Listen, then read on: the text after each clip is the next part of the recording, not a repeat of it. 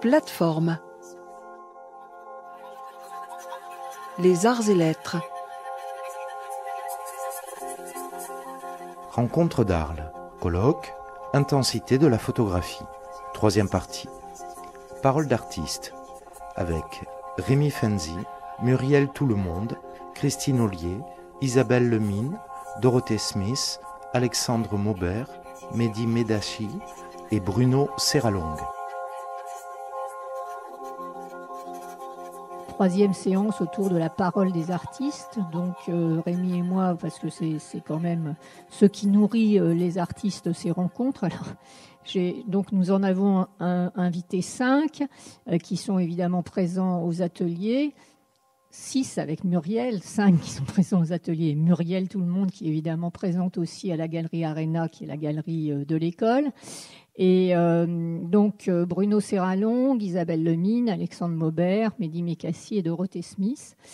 Et puis euh, on avait envie, voilà, l'idée était de savoir d'abord un petit peu leur trajectoire pendant l'école et après l'école, de savoir comment les écoles forment ces artistes, est-ce que y a, on, parle beaucoup Alors c'est un grand sujet de polémique. Est-ce que les écoles d'art formatent les artistes Est-ce que toutes les, les étudiants euh, qui sortent des, écoles ont des, je dirais, des, clivages. Si on sort de l'école nationale supérieure des beaux-arts, de l'école nationale supérieure des arts décoratifs, du Frénois ou de l'école nationale supérieure d'Arles, est-ce qu'on a des marquages qui font qu'on sait tout de suite ce qu'il en est? Et puis j'ai demandé donc euh, à deux euh, experts, voilà, enfin deux personnes qui travaillent euh, avec ces, artistes, de nous donner aussi leur point de vue de voir comment ils repèrent les artistes, quels sont leurs critères de sélection, parce qu'il y a quand même comment. Donc Christine Ollier, les filles qui a fondé la galerie Les Filles du Calvaire, et qui, euh, dans les artistes qu'elle représente et avec qui elle travaille, a aussi bien des photographes que des artistes de l'art contemporain et des artistes étrangers. Et puis euh, Muriel Tout qui est elle-même artiste, avec une très belle euh, exposition donc à la galerie Arena de deux vidéos qu'il faut absolument voir, à peu près 20 minutes, mais prenez le temps d'y aller, et qui a une expérience pédagogique puisqu'elle enseigne depuis six ans à l'école d'Arles et qu'elle avait enseigné auparavant dans d'autres écoles d'art. Voilà.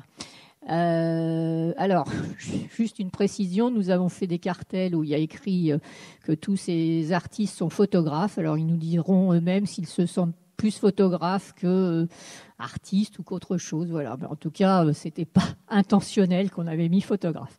Donc, je vais demander à Christine quand même de, pas quand même de présenter sa galerie rapidement et puis peut-être aussi un petit peu sa trajectoire.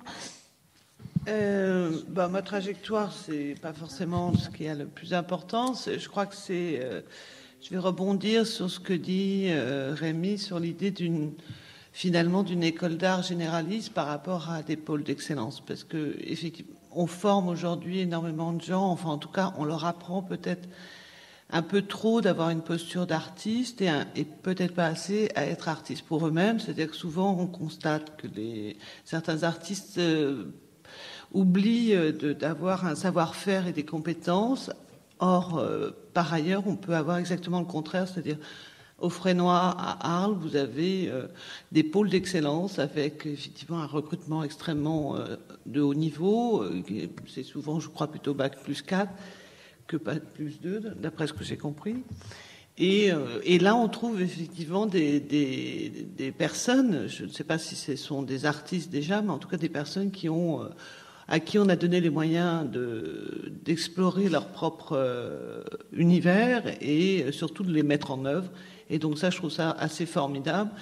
Et pour, en tant que galeriste, bien sûr, c'est euh, un endroit où on peut, pourquoi pas, découvrir des talents. Et ça, c'est formidable. D'ailleurs, j'ai déjà profité des compétences de cette école puisque je représente certains artistes, dont Dorothée Smith, que j'ai découvert il y a deux ans dans une petite exposition à Arles. Donc voilà, je crois que c'est une galerie, un rapport à l'artiste euh, à différents moments de sa carrière. Effectivement, quand on les prend assez jeunes, il y a, euh, je dirais, une, continuité à avoir puisque euh, je pense qu'à l'école, on n'apprend pas à être totalement artiste. Je crois qu'après, il y, a, il y a nécessité de développer sa carrière, il y a nécessité d'apprendre comment diffuser son travail. Et euh, je crois que quand on a une galerie, évidemment, ça peut euh, énormément aider puisque euh, une galerie est un soutien, c'est pas juste un bureau de secrétariat, c'est vraiment une équipe qui tout d'un coup va se mettre au service d'un projet artistique, qui va donc trouver des partenaires pour le produire, trouver éventuellement les résidences, aider l'artiste à avoir non seulement à monter ses dossiers, mais surtout à, passer du stade euh, j'ai envie de faire à bon ben on, va jusqu'à prendre on peut aller absolument très loin puisque bon évidemment il y a les résidences à l'étranger mais après il y a tout le travail donc qui moi m'intéresse beaucoup qui est un peu comme un film ou une agence de production puisqu'on passe du projet jusqu'à la production, la diffusion, encore une fois en partenariat. Donc on est toujours un petit peu comme ça dans un, dans un cycle où on essaye de, de développer, euh, bien sûr, une carrière, bien sûr, de vendre. Hein. Je ne dis pas que la vente est complètement inutile, au contraire, puisqu'il s'agit aussi d'être un poumon économique pour les artistes autant que se faire se peut.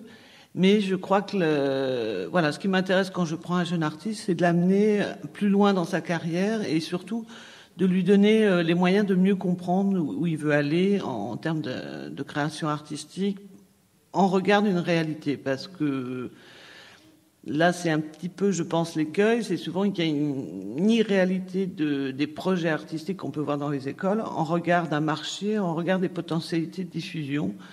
Donc c'est euh, un peu un recentrage parfois qu'il faut faire derrière pour pouvoir, euh, par exemple, c'est une installation vidéo et extrêmement complexe. Elle aura évidemment beaucoup moins de chance, euh, mais je laisse Muriel tout le monde peut-être rebondir là-dessus, d'être visible euh, dans le monde entier que si c'est un dispositif relativement simple. Enfin bon, voilà, c'est plutôt des exemples assez simples. Après, répondre, est-ce que les, les, écoles euh, forment des artistes? Je ne sais pas. Je, je crois que maintenant, quasiment, on peut dire que 95 je pourrais aussi, fallait dire, un chiffre des artistes qui sont euh, dans les galeries de la nouvelle génération passe par une formation artistique. Bon, il y a toujours une potentialité d'autodidacte. Euh, il y a aussi des artistes qui démarrent très tard. Euh, on a des carrières qui peuvent commencer à 35, 40 ou même 65 ans. J'en ai un dans ma galerie qui a commencé effectivement extrêmement tard. Mais euh, bon, on a une chance en France extraordinaire d'avoir des écoles euh, formidables. Et encore une fois, je crois que il faut. J'ai discuté avant de venir ici avec des artistes comme Georges Dupin qui enseigne à Angoulême, je crois, qui m'expliquait en tant que prof euh, de photographie et qu'il n'avait pas beaucoup de moyens pour exploiter la technique photographique, alors qu'ici, à contrario, sur ces pôles-là, vous allez bénéficier euh, d'une énorme capacité technique. Donc ça, je crois que c'est très important. Aux Arts Déco aussi, vous avez ça. Et il faut absolument, euh, pour ces jeunes, euh, qui se servent de ça pour se développer. Voilà. Ce qui n'est pas toujours le cas. Des fois, on a l'impression qu'il y a des personnes qui vont rentrer dans les écoles et qui ne vont pas forcément se pencher sur ce que les, les moyens techniques donnent, voilà, et qui permettent effectivement de développer un langage.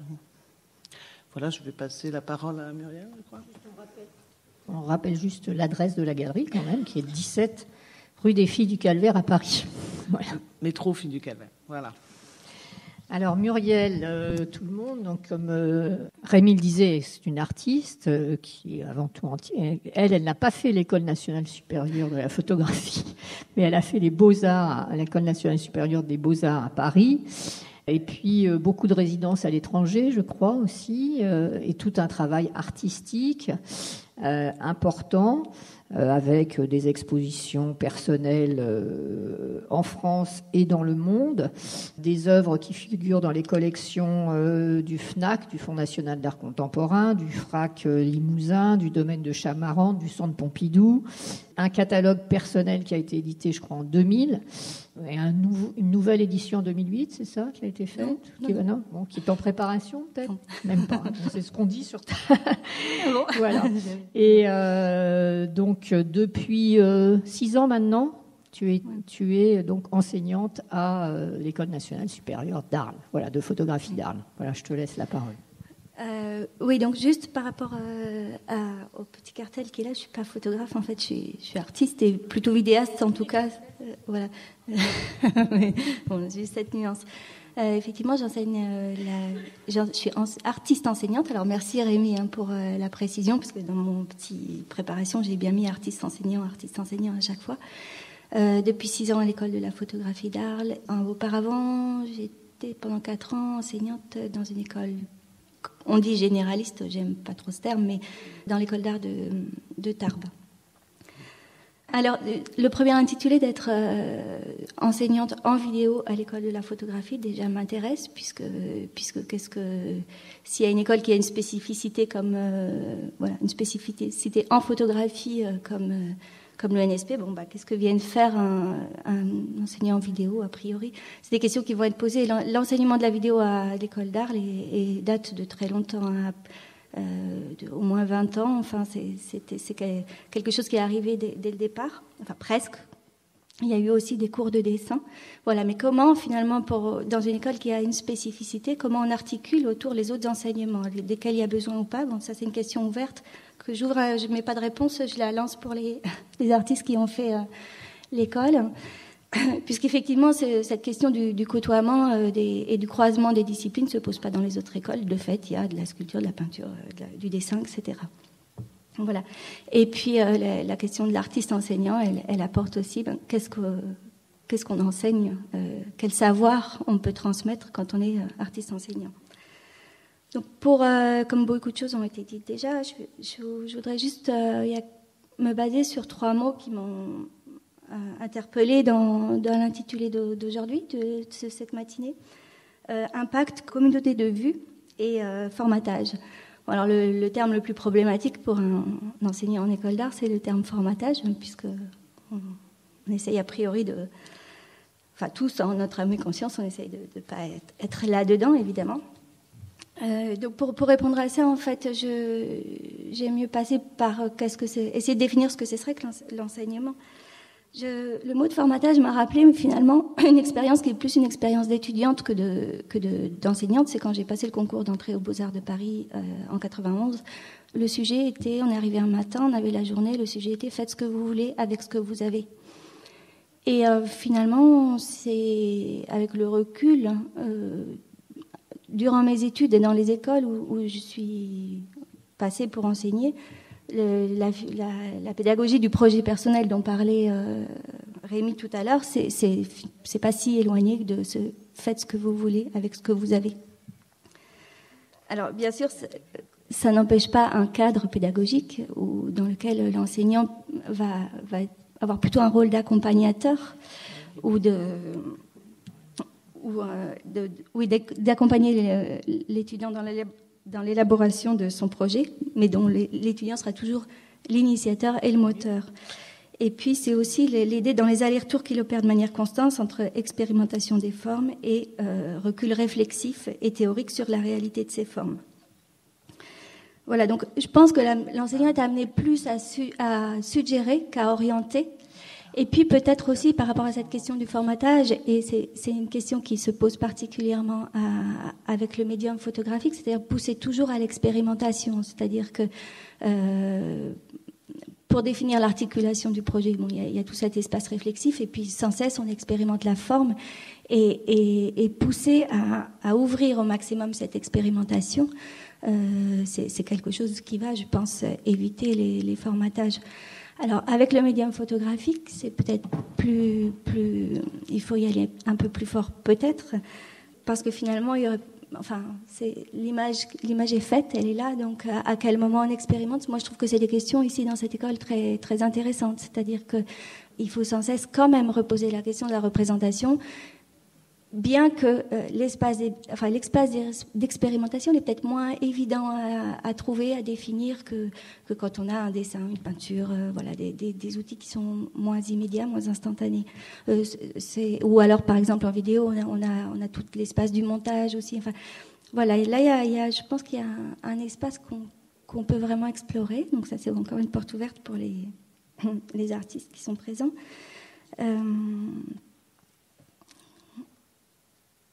Donc j'en reviens à, peut-être une première réponse sur euh, pourquoi de la vidéo et, du dessin ou du son dans une école spécifiquement photographique. Bah, ça peut participer de, parfois prendre les choses de biais, euh, euh, voilà, trouver un autre angle d'attaque pour, soit pour revenir à la forme fixe, soit pour, enfin voilà. Le deuxième mot qui m'a interpellé est le mot impact. Je le sens d'une manière assez positive. Euh, il me semble que, la manière dont je l'ai entendu, c'est dans le parcours des, artistes, la rencontre avec d'autres œuvres, je crois, est la chose la plus importante, ou en tout cas, elle est, primordiale. Euh, lorsque des artistes présentent leur travail, ils disent pas forcément l'école qu'ils ont fait, euh, mais par contre, ils, peuvent souvent parler d'une rencontre avec une œuvre à un moment à n'importe quel moment de la vie d'un artiste, d'ailleurs, hein, pas que quand on est étudiant, mais qui vraiment a, déclenché quelque chose, ou même a donné l'envie de travailler des fois, parce que ça peut même provoquer euh, euh, des, parcours euh, d'artistes. Alors, cette rencontre, elle peut se faire dans une école ou pas. On n'est pas du tout obligé de passer dans une école, ça, a été dit auparavant. Néanmoins, les écoles, en tout cas telles qu'elles sont aujourd'hui, telles qu'elles fonctionnent, elles sont quand même des, lieux merveilleux de Enfin voilà, où il y a beaucoup d'artistes qui passent, qui, qui, qui, il y a les artistes enseignants, il y a ceux qui sont invités, il y a ceux qui viennent faire les workshops, ils présentent leur travail. L'étudiant a quand même un accès là, assez immédiat à, des, des, personnes qui sont en train de faire euh, le métier, si on peut appeler ça, qui va faire et qui explique comment ils s'y prennent, puisque finalement, euh, qu'est-ce que c'est que cet enseignement, sinon la transmission d'une expérience On n'a pas un savoir théorique en tant qu'artiste enseignant dans une école à diffuser? Enfin n'a pas comme ça une linéarité une base toute faite. Ça s'invente à, la rencontre de chaque projet d'étudiant.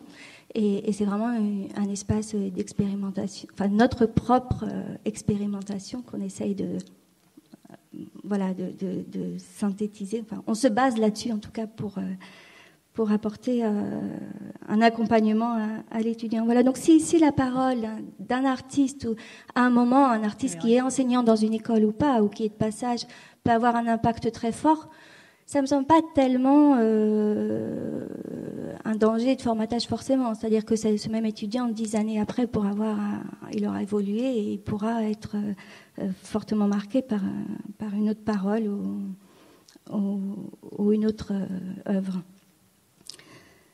Voilà, il y avait encore, euh, pour, pour, laisser un peu de temps aux artistes, une euh, petite réflexion sur la communauté de vue, euh, une réflexion un peu plus large, c'est-à-dire je ne sais pas si en 2000, on a, on a parlé des faire école ou les, enfin qu'est-ce que c'est faire école Je crois qu'en 2012, en tout cas, c'est peut-être que ce temps où on, pouvait faire école est peut-être vraiment révolu.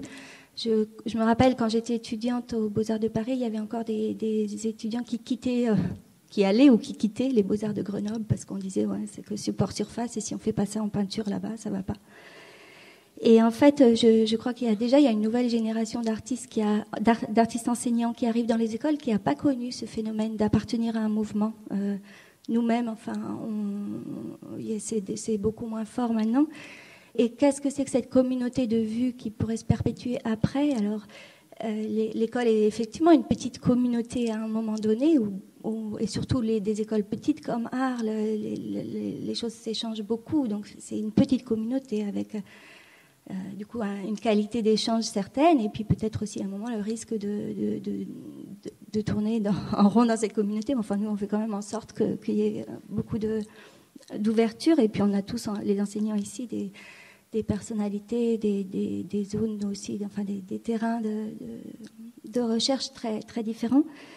Mais ce que je vois des, jeunes générations qui sortent des écoles en ce, moment, en ce moment, c'est plutôt qu'ils forment des collectifs. Et ce, groupe, c'est plutôt l'idée du, groupe, c'est plutôt muet en collectif. Et qu'est-ce que c'est que ces zones de partage en fait où, ils sont maintenant? C'est pas tant autour d'une communauté.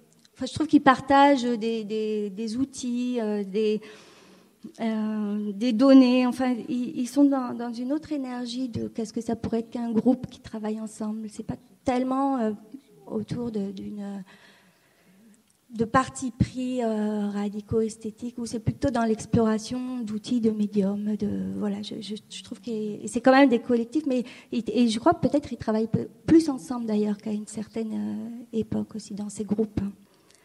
Voilà. Donc, euh, ben, en conclusion, je, rejoins le, ce, que, disait Christine. Je crois vraiment que l'école, c'est un passage en fait. Dans la temporalité euh, d'un travail artistique. Euh, voilà, sur le long terme, finalement, avec le recul, on se rend compte que c'est vraiment qu'un passage et que c'est à peine le temps de mettre les bases, un socle, de mettre des fondements pour quelque chose qui va, s'épanouir euh, à très long terme. Alors, bien évidemment, c'est très très important puisque si on essaye, si on a l'ambition de, de, que, l'étudiant puisse avoir, être auteur autonome comme ça, euh, artiste-auteur euh, en, sortant, ça veut dire qu'il faut vraiment euh, travailler. À, c'est le plus difficile finalement de travailler à, à, poser ce socle.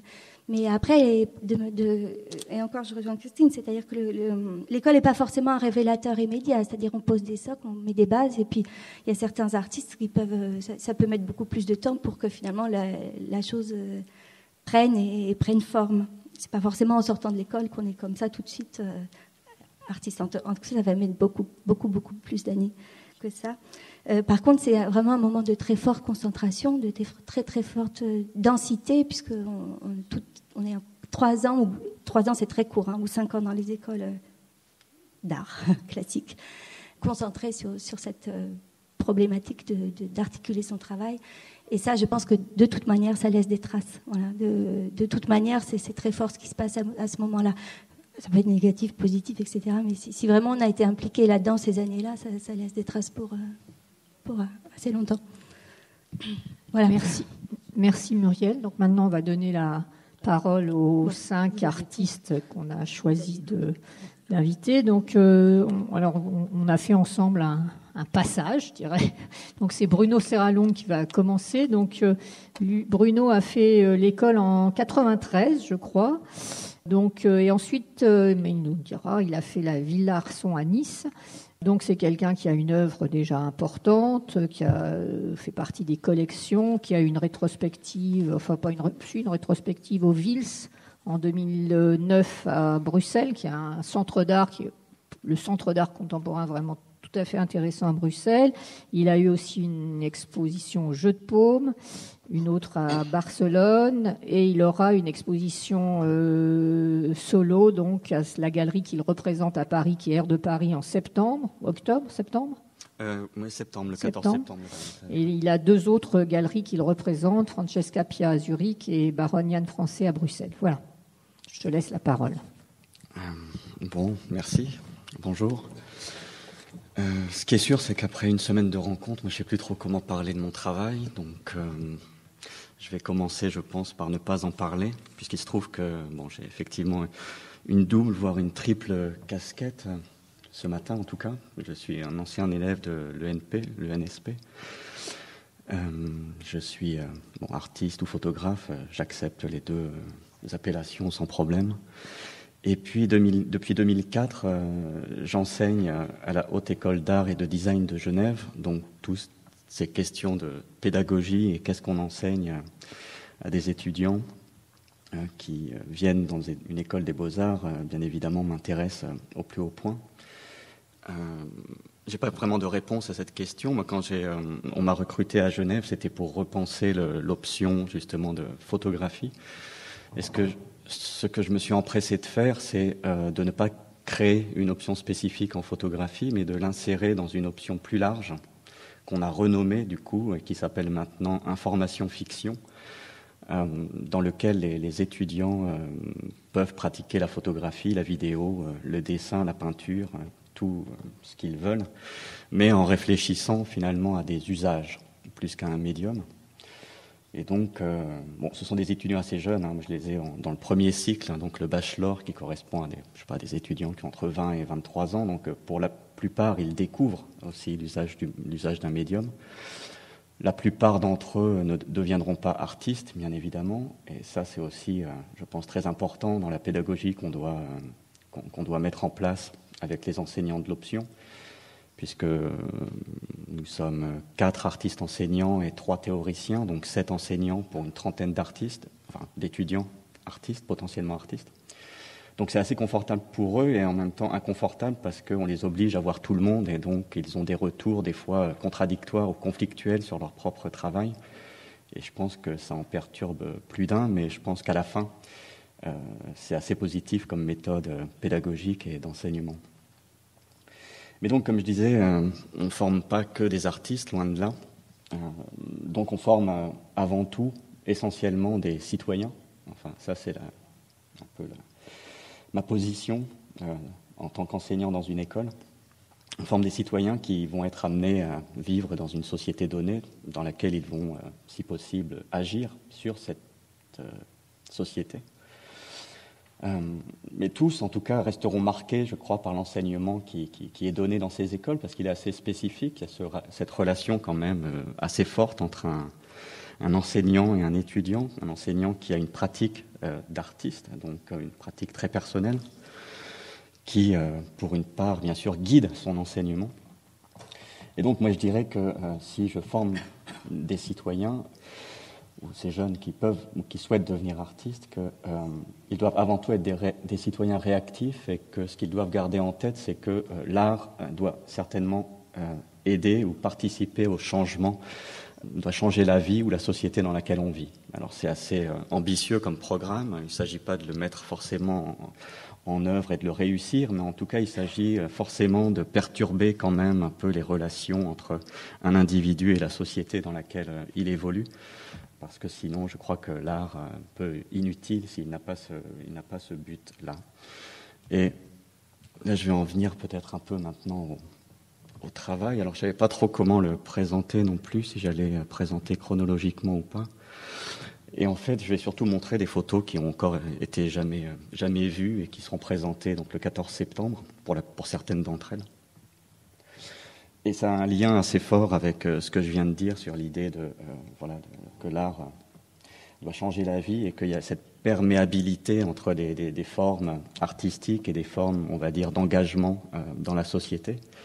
Puisque là, en tout cas, bon, pour les, Français qui sont dans la salle, peut-être ce, panneau SOS, qui est photographié à l'envers, évoque quelque chose, évoque des images déjà vues, puisqu'il s'agit d'un panneau qui a été dressé et qui est toujours dressé en haut, enfin sur la colline qui domine Florange. Florange étant le dernier site industriel français qui produit de, l'acier. Donc c'est l'usine ArcelorMittal qui est arrêtée pour le moment. Et donc euh, depuis l'arrêt du dernier haut fourneau, les, salariés ont dressé ce panneau SOS euh, exactement sous une vierge qui a été fondue, enfin, la sculpture est en acier, a été fondue dans, les, dans, les, le haut fourneau de Florange. Mais surtout, ce qui m'intéresse, bon, c'est pas tellement la, Vierge, c'est la présence de ce SOS qui fait vraiment écho euh, à une commande que Claude Lévesque avait reçue il y a quelques années déjà, euh, à l'occasion déjà de l'arrêt euh, d'un haut fourneau. c'était pas à Florange, c'était à Eyange, c'était le U4, celui-ci étant le U6. Et très clairement, pour moi, je ne sais pas si c'est vrai, j'ai pas mené d'enquête, mais euh, là, Claude Lévesque, en haut du au fourneau, donc a fait un parcours en néon euh, jaune qui s'illumine la nuit. Et puis deux ans ou trois ans après euh, l'arrêt donc du U4 et de l'intervention de Claude Lévesque, donc les salariés au chômage réutilisent cette forme, ce signe artistique du néon. donc Claude Lévesque a fait un peu sa signature pour euh, crier comme ça un, SOS, euh, pour l'impliquer, pour le mettre, euh, pour marquer finalement le réel de manière peut-être un peu éphémère, mais néanmoins, tant qu'il est là, il fonctionne tous les soirs, il clignote dans la nuit tous les soirs. Et donc, ce qui m'intéresse, c'est bien évidemment ça, cette porosité des usages de formes artistiques ou de formes vernaculaires qui sont récupérées et qui finalement circulent. Donc, entre différents types de visibilité, une visibilité en tant qu'œuvre pour Claude Lévesque, et puis une visibilité en tant qu'acte euh, militant, euh, social, politique, qui revendique euh, quelque chose de, très fort, bien évidemment. Et je pense que le travail de l'artiste, bien évidemment, c'est tout, le temps de faire attention à ce, passage entre le, visible et l'invisibilité, les relations que l'on peut tisser entre différents types de, de formes. Donc ça, c'est un affrontement entre la police et puis les syndicats. Et là, j'en reviens pour euh, finalement aborder le travail un peu plus chronologiquement. Euh, j'en reviens à une, des toutes premières séries en tant qu'artiste, parce que bien évidemment, en tant qu'artiste, il y a toujours ce, problème, ce, ou ce problème de, l'origine. À, quand est-ce qu'on fait remonter euh, sa première série, sa première œuvre d'art Donc malheureusement, j'ai pas retrouvé dans cet ordi les photos que j'ai fait à Arles quand j'étais étudiant, parce qu'il y a une série euh, qui pour moi est déjà le début de, ma carrière artistique, donc ça remonte déjà un petit moment, 92, 93.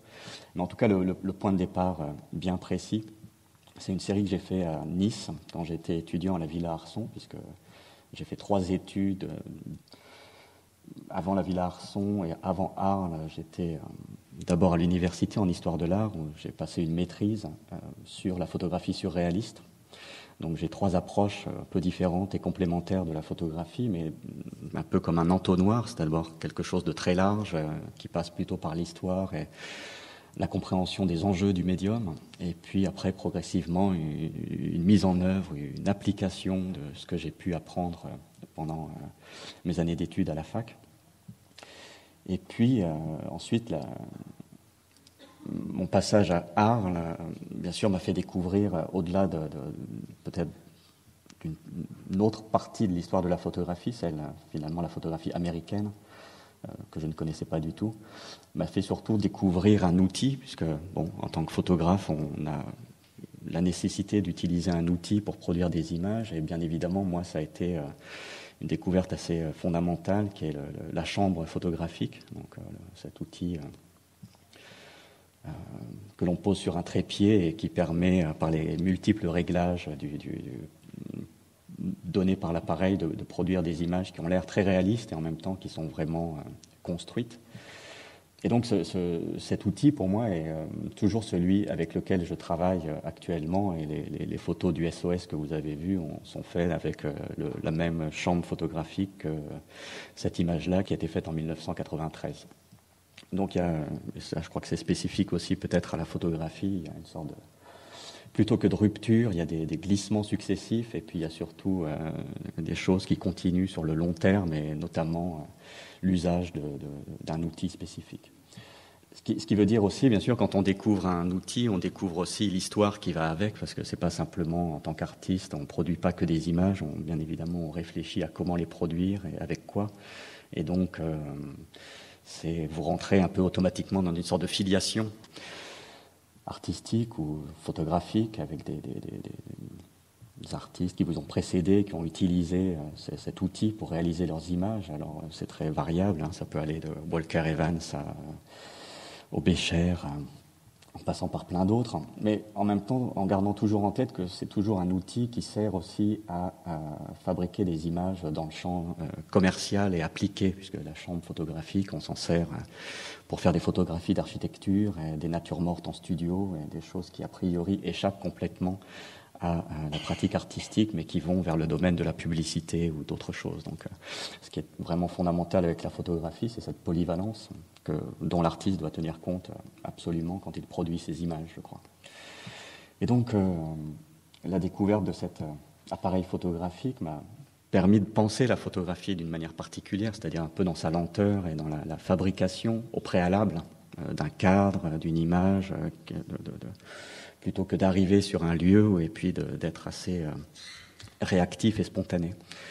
Et donc, quand je suis arrivé à la Villa Arson, après avoir fini mes études à Arles, donc, euh, j'ai commencé euh, à m'intéresser à cette ville avec la chambre photographique comme outil finalement de découverte que j'ai associé à la lecture quotidienne du quotidien local, donc Nice Matin. Et j'ai prélevé dans ce, quotidien Nice Matin, en fait, euh, la rubrique des faits divers comme guide touristique, en fait. Donc, euh, en m'aidant de la lecture quotidienne de cette rubrique, euh, je me rendais ensuite sur les lieux d'un fait divers que je photographiais le plus précisément possible grâce aux indications prélevées dans le journal. Donc là, pour moi, c'était un peu la mise en œuvre d'une pratique aussi qui, se voulait post-conceptuelle, enfin vraiment cette idée de que la photographie doit suivre un protocole et qu'elle doit se mettre en route simplement après euh, qu'une règle ait été énoncée, euh, aussi stupide soit-elle d'une certaine manière, parce que lire la rubrique des faits divers de Nice au départ, euh, ça avait quelque chose d'un peu débile. Et puis finalement, bon, en se, en se, tenant à cette logique, on s'aperçoit que dans ces pages des, faits divers se joue quelque chose aussi de, la fracture sociale, en fait, de la difficulté à vivre ensemble dans, une ville, euh, puisque sur les 51 photographies que comporte euh, la série que j'ai réalisée entre donc 93 et 95. En fait, j'ai passé mon diplôme de fin d'année avec euh, ces, ensembles, cet ensemble d'images. On s'aperçoit finalement que ce qui se joue là, c'est d'un côté, c'est la, répartition très claire entre deux groupes sociaux. Il y a d'un côté les victimes et de l'autre les présumés coupables. Et il se trouve finalement que les présumés coupables sont toujours des adolescents noirs ou un peu basanés ou euh, bon bref qu'on traite un peu de barbus dans les textes parce que je vais vous expliquer après ce que sont les textes euh, en bas et que les victimes sont souvent bien sûr un peu blanches un peu un peu âgées et euh, il y a quand même tout un racisme latent qui s'exprime dans les, dans les textes. Et quand je parlais de ce rapport entre visible et invisible, bien évidemment, le travail de l'artiste, il est de montrer peut-être ce que d'autres personnes ne voient pas parce qu'ils n'y prêtent pas attention. Et donc, euh, en me servant des, des, textes, euh, je me rendais sur place et puis après, je me suis dit, voilà, ça donnait ce type d'image faite à la chambre, donc avec une qualité esthétique bien, bien, bien particulière, de, précision, euh, de clarté, etc. Mais ça faisait des images qui étaient presque comme des images touristiques, même si le guide de départ était un peu biaisé par rapport à un guide touristique de la Riviera. Mais en fait, je, pensais quand même que le, sens de l'image était un peu trop ouvert, un peu trop perdu, et j'ai remis, et c'est ce que vous voyez euh, sous l'image, j'ai remis le texte du journal, en fait. Alors, c'est un résumé, mais ce sont vraiment toutes les pages, euh, toutes les phrases écrites par le journaliste. Euh, donc là, si, vous voulez vraiment le, sujet exact de l'image, c'est en bas à droite, c'est quelqu'un qui s'est immolé par le feu, en fait, et donc à l'intérieur d'un cercle. Et on voit encore euh, deux jours après des bouts de, vêtements euh, calcinés. Donc il y a des, choses comme ça un peu horribles et d'autres qui, qui sont juste des casses euh, voilà, dans ce mini-market sans grosses conséquences et surtout il n'y a plus rien de visible dans l'image. et donc il fallait, à mon, avis, rajouter un peu de, signifiant dans la photographie par l'ajout du texte.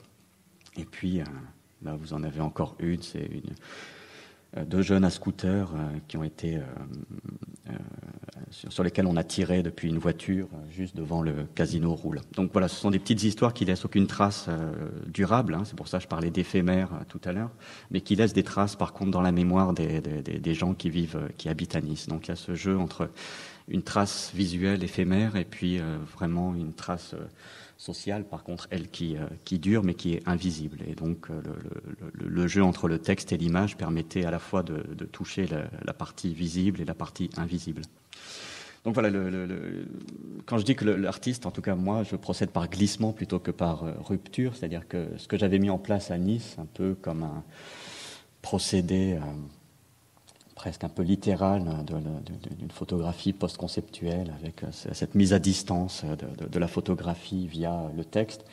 Bon, bah, il se trouve que je me suis un peu peut-être laissé euh, piéger et pris au jeu du texte publié dans le journal, parce que ça m'a énormément finalement séduit, cette méthode, et que tout le reste du travail depuis les années 90, enfin 93 jusqu'à maintenant, procède un peu de la même méthode, c'est-à-dire de puiser dans le, le flux d'informations euh, qui est à notre disposition au, quotidien, euh, des sujets pour des, photos à venir. Donc, euh, quand j'ai commencé en 95-96, c'était bien sûr les journaux papier et puis bon la radio, la télévision. Maintenant, c'est essentiellement Internet.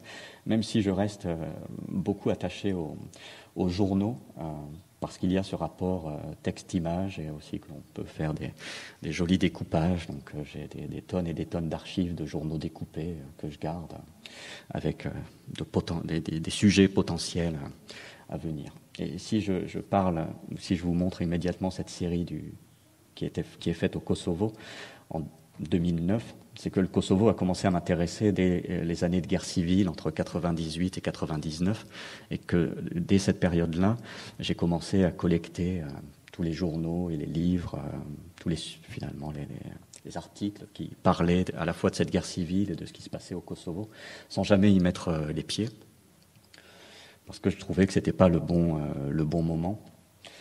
Euh, c'était pas la bonne situation pour moi. Et j'ai attendu en fait une dizaine d'années euh, pour commencer à faire une enquête finalement sur la création, sur l'apparition de ce nouveau pays. Et j'ai commencé à y, aller en 2009. Et là, je vous montre la première photo réalisée, qui est en fait une photo faite le 17 février 2009 euh, à l'occasion de la célébration du premier anniversaire euh, de l'indépendance. Euh, d'où le newborn, qui est un peu comme le SOS, pris à l'envers, parce que la question du point de vue, bien sûr, est assez importante, parce que je voulais à la fois les feux d'artifice et le newborn, il n'y avait pas 36 solutions, il fallait que l'un soit inversé, donc c'est un peu comme le SOS, je voulais le SOS, mais également la vallée, donc je pense qu'on peut remettre dans le bon sens les, les lettres facilement. Donc voilà, ça c'est la, première photo de cette euh, série qui maintenant comporte euh, une quarantaine d'images parce que j'y vais une fois par une fois par an à peu près. Et je, photographie pendant une semaine ou dix jours un peu partout dans le pays, qui a l'avantage d'être un tout petit pays, je sais pas, 80 km de large sur 50 de, de haut. Donc on n'est pas du tout dans le road trip à l'américaine où on peut passer des jours à sillonner le pays. Là, on se heurte tout de suite aux frontières, en fait, et c'est bien évidemment l'enjeu du travail que de se heurter à ces frontières. Et les frontières, elles sont partout, elles sont également dans les images euh, qui, est présentées ici, euh, puisque le Kosovo ne peut exister que par la présence euh, militaire donc de l'OTAN, avec une force dédiée au Kosovo qui s'appelle la CAFOR, qui fait régulièrement sa publicité dans le pays, parce que de plus en plus, ils sont vécus comme une force finalement euh, d'occupation. C'est ça qui est intéressant, puisque des, de sortes de libérateurs, ils deviennent occupants d'un pays. Et euh, ils ont des images absolument magnifiques, euh, je trouve, leur, vraiment leur, PR est très doué. Et les images qui sont produisent, qu'ils produisent à l'occasion de ces, sur ces grandes affiches, là en fait vantent les dix ans de stabilité, bien sûr, de la présence et disons de stabilité du pays grâce à la CAFOR, bon, ben, voilà, sont des images très hollywoodiennes. Hein. On imagine bien sûr Tom Cruise sortir de, cet hélicoptère ou de cet avion après euh, Top Gun et compagnie. Donc il y a ce rapport, bien évidemment, euh, entre une image fabriquée et puis la réalité d'un pays. Et c'est pour ça qu'il y a une image de cirque hein, en dessous. Je ne sais pas si vous la voyez, mais donc c'est un, cirque euh, italien qui venait se produire. Et puis ces enfants qui passent, qui ont une dizaine d'années, un peu exactement comme la, finalement la date anniversaire de la CAFOR. Et, euh, donc ce qui m'intéresse toujours, c'est tisser ces liens euh, que l'on peut comprendre ou plus ou moins comprendre entre euh, un événement historique, qui est finalement la fondation de ce pays, et puis la mise en forme, finalement, les documents qui sont issus de cette, de cette, de cette création d'un pays, puisque euh, finalement l'histoire, c'est toujours l'histoire de deux choses, euh, les, événements, les faits qui arrivent, et puis euh, les événements et les faits tels qu'ils sont perçus et tels qu'ils sont mis en perspective pour l'histoire, en fait. C'est généralement aujourd'hui finalement les photographes de presse qui sont un peu chargés peut-être de cette mission de, de, raconter en images. Mais je pense qu'on peut aussi aborder en tant qu'artiste cette mise en image de l'histoire et des événements euh, en, parlant d'un autre champ de recherche qui est celui des images euh, artistiques et qui peuvent aller comme ça au contact ou à la frontière ou au contact avec euh, l'image fabriquée par, par la presse et qu'il y a comme ça des, des, des décalages et des enjeux autres qui jaillissent finalement dans cette idée de fabrication d'une archive et d'une mémoire.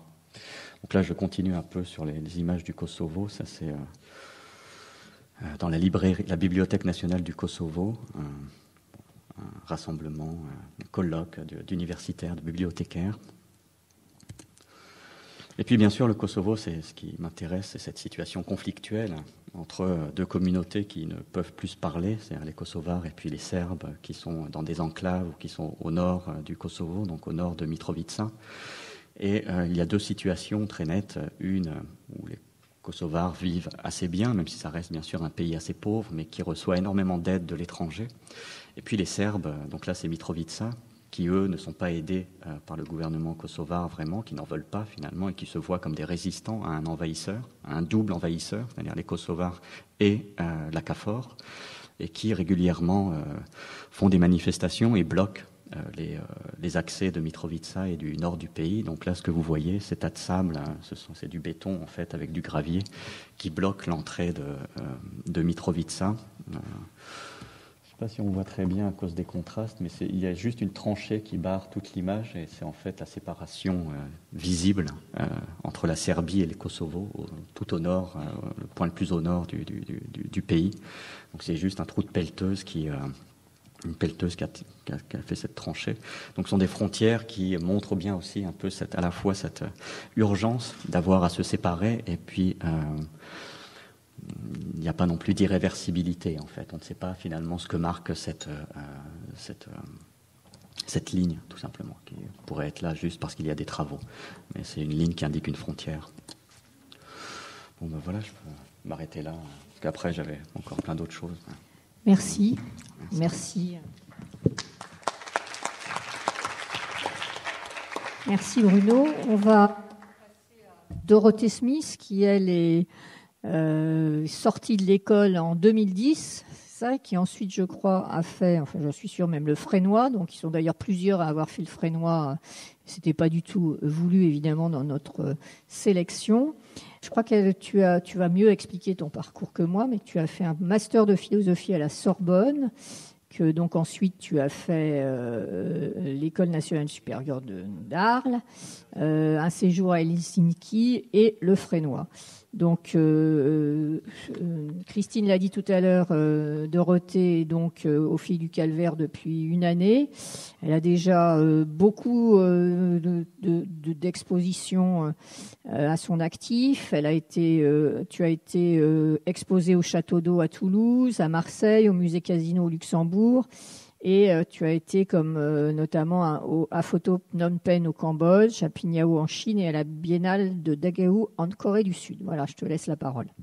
Donc euh, effectivement, je suis sortie il y a deux ans de l'école de la photographie et j'ai enchaîné tout de suite avec le Frénois, dont je suis sortie là il y a quelques jours. Quelques jours, oui. Et donc en fait, lorsque j'étais étudiante à l'école, euh, évidemment, je suis entrée par un concours euh, à l'occasion duquel on nous demande de montrer qu'on s'intéresse à la photographie. Et finalement, assez vite, j'ai fait aussi, j'ai essayé d'autres euh, disciplines, en fait, c'est-à-dire j'ai passé la deuxième et la troisième année à essayer plutôt des vidéos et des installations qui utilisaient la photographie, mais sur laquelle, où la photographie n'avait pas forcément le rôle principal. Et du coup, en entrant au Frénois, j'ai complètement arrêté dans ce contexte de, créer des images photographiques. J'ai fait une installation vidéo et ensuite une installation plus, un peu plus abstraite et plus du côté des, arts numériques. Et hum, du coup, la photographie, j'ai continué à en, fabriquer, on va dire, mais d'une manière euh, parallèle. C'est-à-dire, la photographie et les autres disciplines. Euh, en fait, elles fonctionnent de manière à la fois parallèle et inversée. C'est-à-dire que pour euh, tout ce qui est vidéo, installation, euh, je pense qu'il faut un travail qui est assez concentré, qui prend énormément de temps, qui nécessite euh, voilà, souvent des équipes, un budget, enfin voilà, qui a un mode de fonctionnement très organisé, tandis que, à l'inverse, ma pratique de la photographie est plus spontanée et fonctionne plus à la manière d'un journal, en fait. C'est-à-dire il n'y a pas de temporalité euh, limitée où je vais travailler pendant quelques jours sur un sujet ou décider de travailler sur une thématique, mais je, produis et j'accumule des images qui, euh, a posteriori, euh, se construisent en ensemble et en série. Et ça, c'est à l'ENSP que j'ai commencé un peu à rationaliser cette pratique qui était plus comme une sorte de logorée comme ça, photographique. Donc, si ça fonctionne, il y a des images qui défilent. alors, en l'occurrence, c'est un petit peu chronologique, c'est-à-dire que là, je, enfin, ce sont trois séries d'images. Euh, les deux premières réalisées à l'ENSP et la dernière, c'est celle qui est montrée actuellement euh, ici à Arles. Dans mon travail photographique, donc c'est construit, euh, comme je disais, d'une manière un peu comme un journal, c'est-à-dire presque quotidiennes en fait et pas forcément réfléchies, c'est-à-dire ce ne sont pas des images qui sont mises en scène, ce sont des portraits et des paysages qui sont réalisés à l'occasion de rencontres, de voyages, de, de, promenades, enfin voilà, et qui sont pas tellement limités techniquement, c'est-à-dire il y a des images qui sont faites au petit format avec des appareils euh, automatiques. Il y a des images faites à la chambre. Et l'essentiel des images sont faites quand même avec un appareil moyen format, donc euh, qui me permet après d'avoir assez de liberté au niveau justement des tirages, de l'accrochage, de pouvoir essayer euh, différents formats, etc. Le fait que ces séries soient pas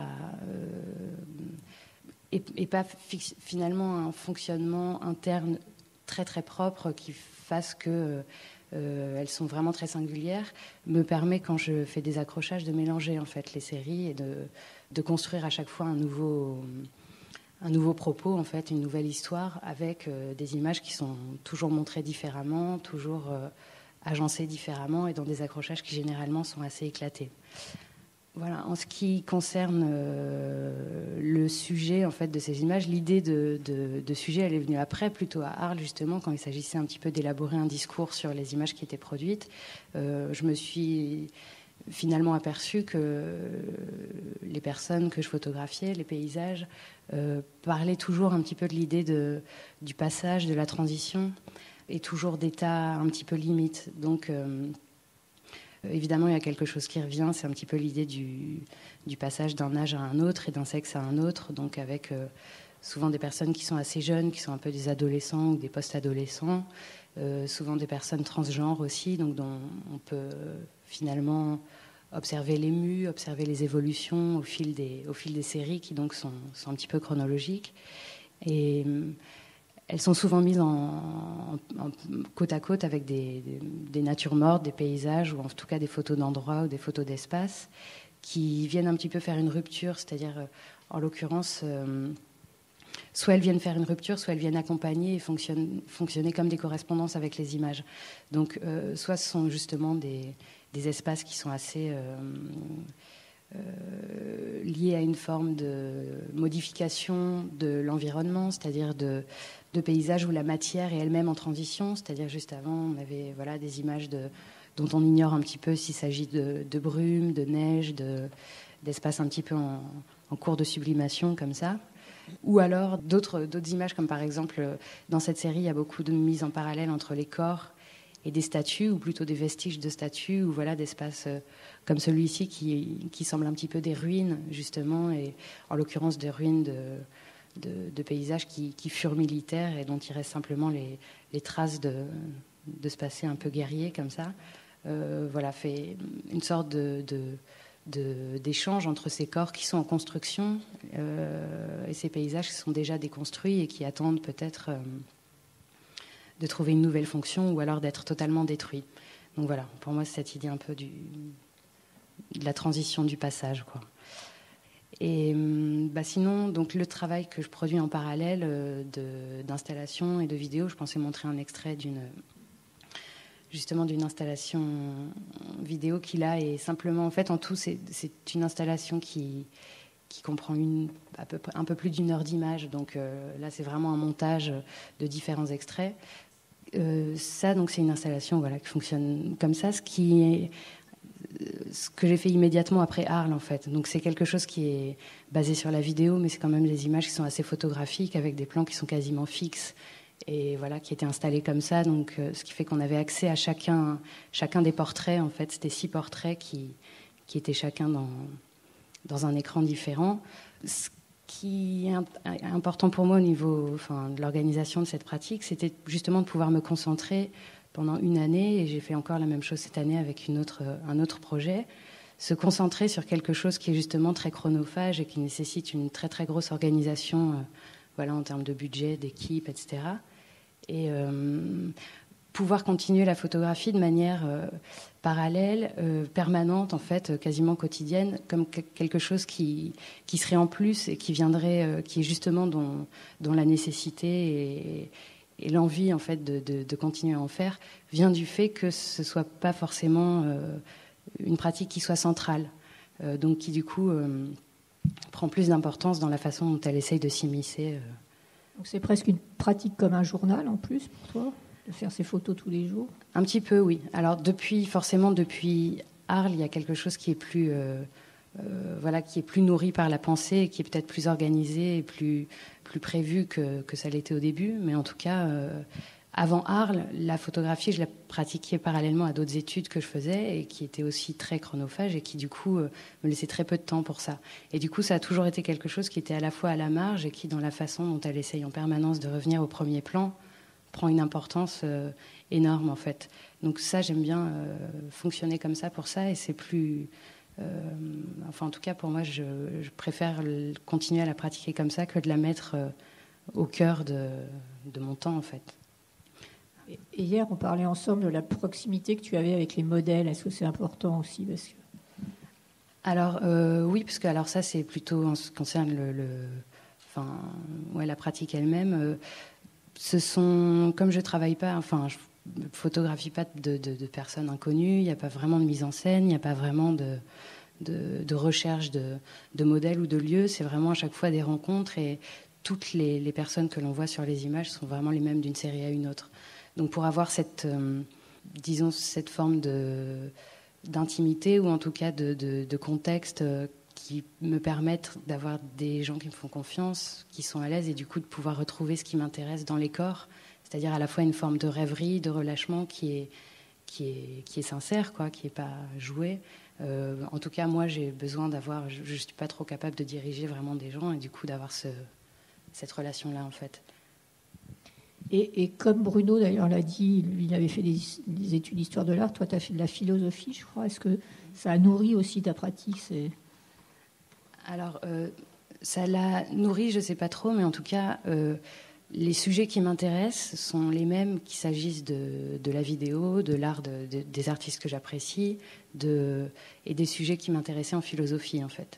Donc euh, forcément, c'est surtout des, enfin, les philosophes sur lesquels je travaillais euh, à cette période-là sont des gens qui continuent à accompagner, euh, accompagner ma création, dans le sens où mes images ou mes vidéos sont pas du tout une, illustration de concept ou peuvent absolument pas être explicités à partir de ces concepts, mais euh, ça les nourrit. Enfin, soit des, des, gens comme Derrida, Malabou, Judith Butler, des philosophes plutôt contemporains en fait, et dont forcément le travail est pas totalement étranger aux images. on va demander à, Christine comment elle a rencontré Dorothée quand même. Euh, bah, Dorothée, j'ai d'abord rencontré des images, euh, tout simplement, puisque Dorothée avait organisé avec Christian Gattinoni une exposition dans une petite maison à Arles. Une exposition d'ailleurs assez agressive sur les postures entre transgenres, pornographie, etc. Il y avait plusieurs artistes et c'était plutôt très intéressant. Et c'est euh, Antoine D'Agata, qui est un autre photographe avec qui je travaille, qui avait fait, euh, qui fait parfois des workshops à Marseille, je crois, et je crois que Dorothée avait fait un workshop avec Antoine, qui m'avait euh, conseillé d'aller voir ça d'une façon un peu légère, et j'ai laissé ma carte parce qu'il y avait vraiment deux trois images qui me semblaient très belles. Et en fait, c'est il n'y a pas que moi qui cherche, il y a aussi euh, des gens comme Jean-Marc Lacab, donc qui est le directeur du château d'eau à Toulouse, qui est quelqu'un qui a un métier, qui a un œil, et qui lui a euh, consacré sa première expo. J'étais allé pour une autre de mes artistes, et c'est là où on s'est rencontrés. Et en fait, euh, j'ai découvert l'art, ce qui est pour moi plus important que le travail, c'est-à-dire l'artiste une femme assez euh, lumineuse et très étonnante, comme on en voit peu. Et donc après, ben, j'ai continué à suivre. Et puis euh, j'ai découvert aussi, euh, on est allé au Frais Noir avec Marie Magnier qui collabore et qui suit Dorothée au jour le jour.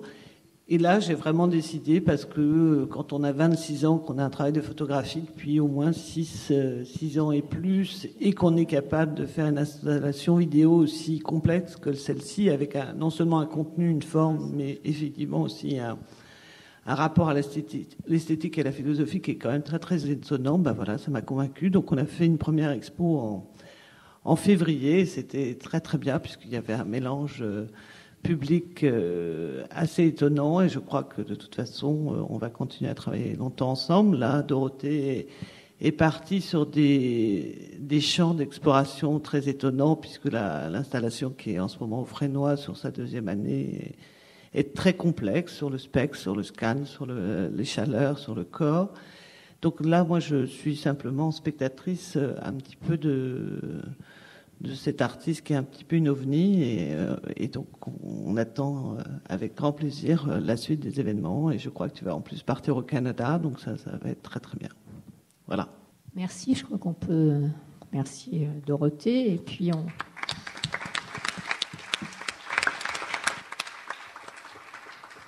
Alors Alexandre Maubert, qui lui a eu, qui était à l'école donc le diplômé en 2009, je crois. Euh, qui travaille et vit à Paris. Lui, euh, je crois qu'Alexandre au départ est plutôt tourné vers le cinéma. Euh, il a, lui aussi, en plus, après le NSP, fait le Frénois. Il a, il a la chance de partir l'an prochain au Japon et en 2003 donc des projets avec une exposition au Lab La Banque à Béthune et une exposition à l'Institut français de Mexico. Voilà donc à toi, Alexandre. Bonjour, merci Françoise. Donc effectivement, avant de, rejoindre l'école de la photographie de 2006 à 2009, j'avais fait une université où j'étudiais un peu le cinéma et la photographie aussi. J'avais une pratique qui était déjà, on va dire, débutée dans le domaine de la. j'avais fait pas mal de films en tant que directeur de la photographie pour des amis réalisateurs qui essayaient de monter un petit mouvement euh, autour de Lyon, de l'Institut Lumière. En parallèle de ça, j'essayais de travailler pour euh, pouvoir avoir de quoi vivre. Et euh, l'envie d'aller rejoindre l'école de la photographie est venue d'avoir un moment, d'avoir un temps. Je faisais déjà pas mal de choses pour les autres. Euh, je travaillais aussi à côté et j'avais très peu de temps pour alimenter et nourrir ma pratique personnelle. du coup, j'ai passé le concours, j'ai été reçu. Et là, ce que j'ai vraiment apprécié pendant ces trois ans, c'était pouvoir m'impliquer et, et penser un travail dans la longueur et dans la durée. Donc euh, là, je vais présenter un des, un des, le projet que j'ai finalement présenté au diplôme et sur lequel j'ai travaillé pendant deux ans. Donc c'est un travail qui s'appelle Casabianda sur une série. Euh, c'est une série sur un travail euh, sur une prison ouverte en Corse. C'est un, établissement assez unique en son genre sur le sur l'Hexagone parce que finalement, car il a la particularité de ne pas avoir de, de mur d'enceinte. Et euh, donc on appelle ça une prison ouverte ou une open institution car euh, elle trouve des, euh, comment dire d'autres exemples dans, le nord de l'Europe, mais en France c'est finalement quelque chose qui existe quand même depuis 1948 dans cette forme-là. C'est le plus gros territoire français, enfin de l'État français en Corse. Pardon pour le lapsus. Donc toute la journée les détenus travaillent dans c'est une énorme exploitation agricole. Il travaillait sur l'élevage d'animaux, une exploitation euh, céréalière. Il y a à peu près euh, entre, entre 250 300 détenus, mais des fois ça, ça, évolue. Et il y a une très très longue liste d'attente pour aller dans cet établissement. Ce qui est assez incroyable, on fait la queue pour aller en prison. Mais le truc, c'est que le public, on va dire, ou les gens qui sont concernés par euh, euh, la possibilité d'être placés là-bas présentent des chances de réinsertion. Enfin, il y a toute une grille de sélection que euh, la direction pénitentiaire met en place. tous les détenus qui arrivent dans cet établissement ont fait en moyenne entre 5 et 10 ans d'incarcération dans d'autres prisons qui n'offrent pas les mêmes vertus. Et ce qui m'intéressait dans ce travail, c'était que euh, y avait une, enfin, pour moi, c'était aussi mettre en avant, parler des choses que l'on ne parle peu, ce qui est finalement aussi une des vertus de la photographie, je pense. Mais c'était pas simplement faire de la photographie, mais fabriquer une photographie, fabriquer une image.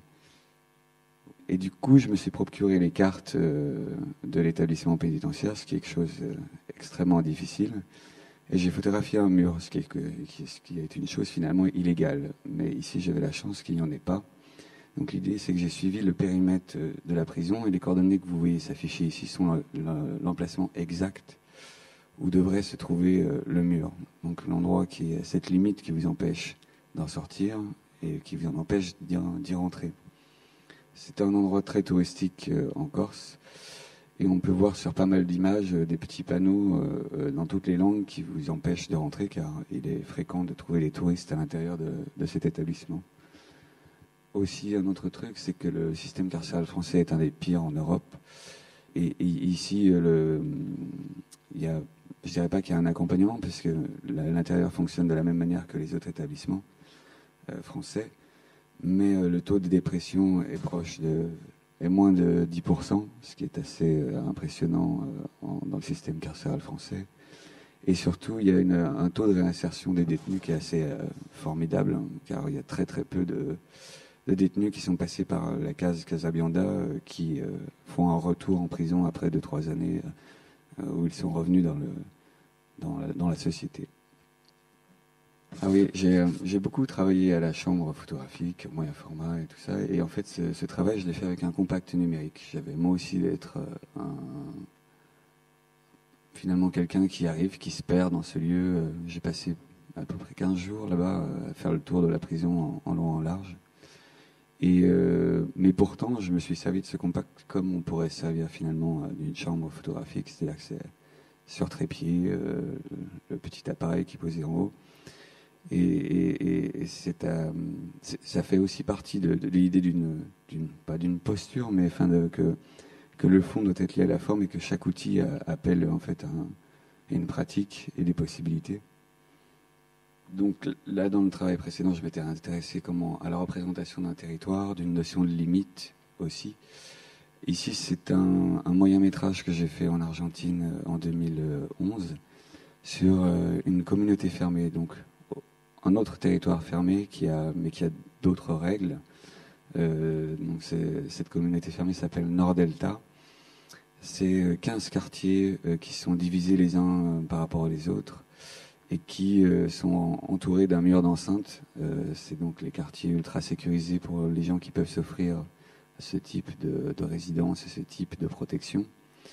J'ai donc choisi cette fois-ci en fait d'essayer de, traverser ces barrières, de traverser ces limites. Donc avec justement une équipe qui était basée sur le principe d'une équipe cinématographique on a réalisé un parcours qui fait une boucle à l'intérieur et à l'extérieur de cette communauté. Et j'avais envie aussi de mettre en scène finalement des rencontres éventuelles, des rencontres erronées, des rencontres impossibles entre un personnage qui était ici pour marquer les espaces et le temps, une espèce de, temporalité en fait de l'exploration.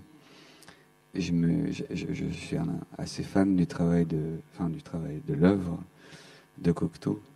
Et du coup, je, me suis permis à la fois de, vouloir lui rendre hommage, mais de lui emprunter en fait toute une partie euh, de, ce film Orphée et le moment où euh, euh tire Orphée euh, du monde des vivants et dans cet espace qu'il appelle la zone. Je vais vous passer un petit extrait. Et ce travail est donc montré en installation cette année à Rencontre d'Arles, à la Grande Halle.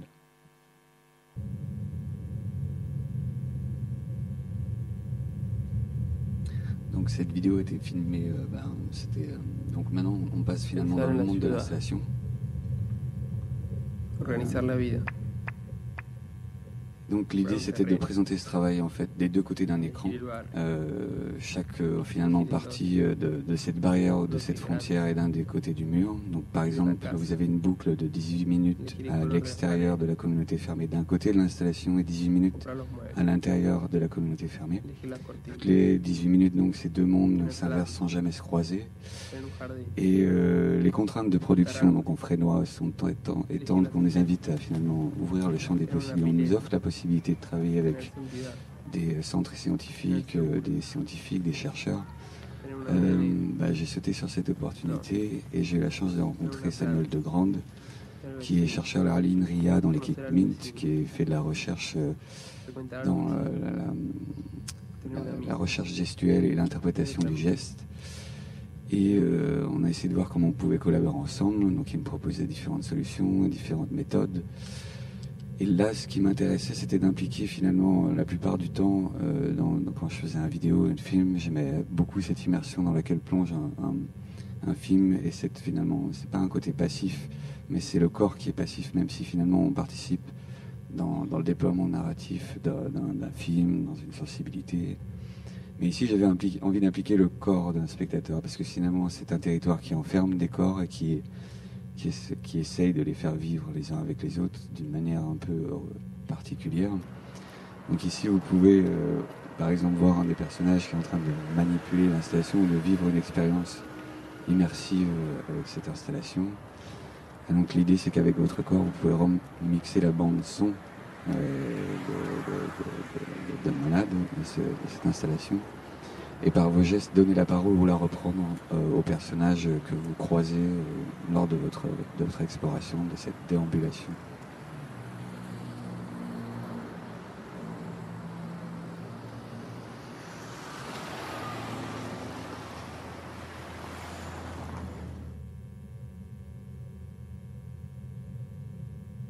Et l'état zéro finalement de l'installation, c'est-à-dire que quand personne n'interagit avec elle, tout le son est refermé.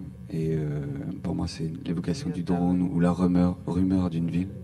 La zona está hecha de recuerdos de hombres y ruinas de sus costumbres. Todos los espejos del mundo conducen a esta zona. Lo supongo, pero no querría ser muy temeroso. Crea que sé mucho más sobre esto que usted. Camine, camine. Me cuesta seguirlo. Euh, et pour, pour terminer, j'avais envie de parler aussi de... Là, on, on présente des, des, des, travaux qui ont été faits et euh, là, j'ai envie de parler sur un projet qui, qui s'inscrit dans une durée euh, particulière toujours dans les liens entre la photographie et le cinéma, j'étais euh, assez euh, passionné du fait que nombre de westerns a été tourné dans le sud de l'Espagne, tout en essayant de prétendre qu'ils étaient tournés aux États-Unis. Et euh, ça fait quelques années que je me rends dans le sud de l'Espagne et à côté de Madrid, où j'essaye de retrouver, tant bien que mal, les, les lieux où ont été tournés finalement les les images de fin ou les séquences de fin de, différents films de Sergio Leone, enfin de, Le Bon, la Brute et le Truand, Il était une fois dans l'Ouest, enfin. Et euh, donc je passe mon temps à la, traque de ces images. Et encore, comme je disais tout à l'heure, j'ai euh, l'idée étant de fabriquer des images ou utiliser des images plutôt que de prendre des images. Donc c'est, euh, je trouvais ça très, enfin comment dire, J'espère que vous apprécierez mon humour de terminer là-dessus. Mais c'est un petit peu aussi euh, comme euh, cette phrase mythique où on disait le cinéma est mort, vive le cinéma. Eh bien, eh bien écoutez, j'espère que vive la photographie est morte et vive la photographie. Merci à vous. Moi, j'avais juste une question, Alex. Alexandre, quand on, est, quand on passe de l'école d'art, où on a beaucoup de moyens, mais au Frénois, où on a l'impression qu'on a une avalanche de moyens, est-ce qu'on n'est pas à un moment donné, euh, est-ce qu'on n'a pas du mal, mais qu'on doit vraiment se bloquer sur un projet pour pas se laisser envahir par toutes ces technologies? Alors moi je dirais que c'est l'inverse, c'est plutôt frustrant parce que vous ne faites qu'une seule chose à la fois au Frénois en fait. Et euh, bah, j'ai, euh, comment dire, je, produis énormément on va dire. Mais euh, et là, c'était assez intéressant parce que, enfin, j'ai toujours, euh, ben, mon cœur est séparé entre deux, euh, entre plusieurs choses. Et là, je, comment dire, je suis rentré dans une logique de production. Mais en fait, je faisais déjà avant ça quand quand je travaillais avec des équipes de, de ciné, une production. Donc là, c'est ce qui est vraiment intéressant, c'est que effectivement, on vous, on vous plonge, on vous, on vous donne les moyens qui finalement, ça paraît assez énorme comme moyen, mais quand on fait du cinéma ou de la vidéo, ça coûte tellement cher que ces moyens sont, sont pas si énormes que ça, surtout qu'ils n'ont pas évolué depuis 15 ans. Par contre, je vois où la question peut, aller, c'est euh, effectivement quand on vient d'un domaine qui n'est pas euh, l'art numérique, je pense que le défi, c'est d'essayer de trouver quelque chose qui reste dans votre sensibilité, dans vos cordes finalement mais c'est aussi, je pense, considérer ça comme une expérience, une ouverture, et pas considérer qu'on est en face d'un produit fini, mais aussi quelque chose qui, euh, qui, qui essaie de vous ouvrir les perspectives plutôt que d'essayer de, les... Euh, je pense que la contrainte est créatrice, et euh, bien sûr, ça ne dédouane pas d'essayer de faire quelque chose de pertinent, mais, mais je pense que c'est une belle aventure d'aller dans des territoires qui ne sont pas les vôtres. Merci, je crois qu'il y aura des questions après. On va peut-être passer à Isabelle Lemine maintenant. Donc Isabelle, euh, elle euh, a fait d'abord des études d'ingénieur euh, pas d'histoire de l'art, ni de philosophie, ni de cinéma, mais d'ingénieur. puis elle s'est installée à Berlin en mai 89, où elle a travaillé donc comme ingénieur brevet. Et puis elle a finalement complètement laissé cette pente, cette carrière pour intégrer l'école nationale supérieure d'art en 93. Voilà, elle est lauréate de nombreux prix, de bourses. Elle est enseignante en photographie, commissaire d'exposition, et elle est représentée, euh, enfin Isabelle est représentée par la galerie Christophe Gaillard à Paris. Voilà. Bonjour. Euh, je vais commencer de manière un peu paradoxale, puisqu'il s'agit d'une peinture. Je ne suis pas du tout peintre, et donc euh, cette peinture, contrairement à celles qui sont dans mon exposition, c'est moi qui l'ai faite, et je l'ai faite un peu n'importe comment parce que je n'ai aucune technique.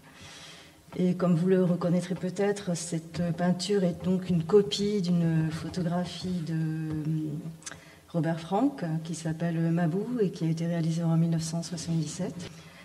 En fait, cette photographie me fascine réellement et m'intéresse beaucoup parce que euh, c'est un regard rétrospectif de Robert Frank sur sa pratique. Euh, peut-être le savez-vous, il a commencé donc par photographier l'Amérique et à produire donc ce livre euh, qui s'appelle Les Américains, qui a été publié par Delpire en 1958.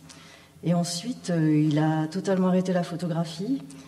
Il a fait un peu de cinéma. Il s'est installé au Canada, à Mabou, justement. Donc, c'est le, titre de cette photo, c'est Mabou. Et puis, il s'est remis à faire de la photographie, mais cette fois de manière complètement différente, beaucoup plus plastique. Il fait intervenir euh, les mots et le langage dans son travail. Il pratique des collages. Et en fait, donc il y a, vraiment deux périodes dans, cette carrière. Et moi, au moment donc, où je peins cette euh, peinture, euh, ça faisait, euh, c'était donc en 2009, et ça faisait environ cinq ans que je n'avais absolument plus fait de photographie.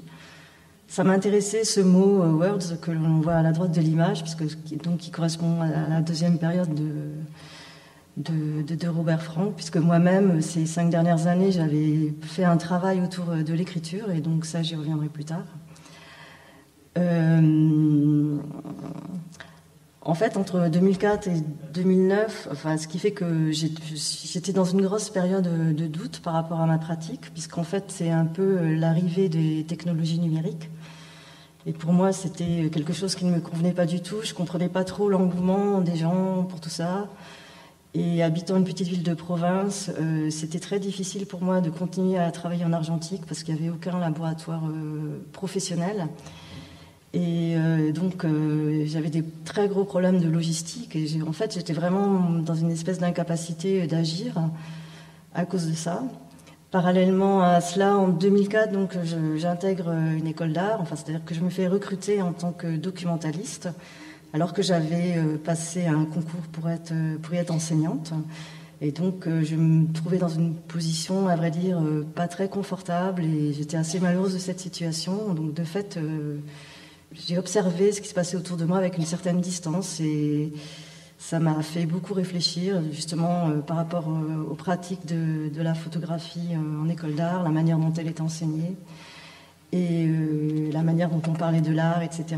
Et du coup, je me suis dit que plutôt que d'utiliser la photographie comme un outil pour euh, représenter le monde, pourquoi ne pas se servir de tous les outils à ma disposition euh, via cette école pour parler justement du médium photographique et pour entamer une réflexion sur les objets de la photographie, ses usages, ses fondements théoriques. Parce que je trouvais que finalement, au moment de ce passage de l'argentique au numérique, il n'y a pas eu tellement de, théorie euh, par rapport euh, à tout ça, alors que nous, finalement, euh, à l'école, c'est quand même, ça fait quand même partie du socle des apprentissages, la théorie de la, photographie. donc, pour en revenir à la peinture en question, la particularité, c'est que les lettres donc, qui constituent le mot words, mot, ont été chargées de pigments phosphorescents, ce qui fait que lorsque la lumière s'éteint, enfin, on voit pas très bien, mais en fait, euh, l'image disparaît et euh, le mot, euh, le mot s'allume.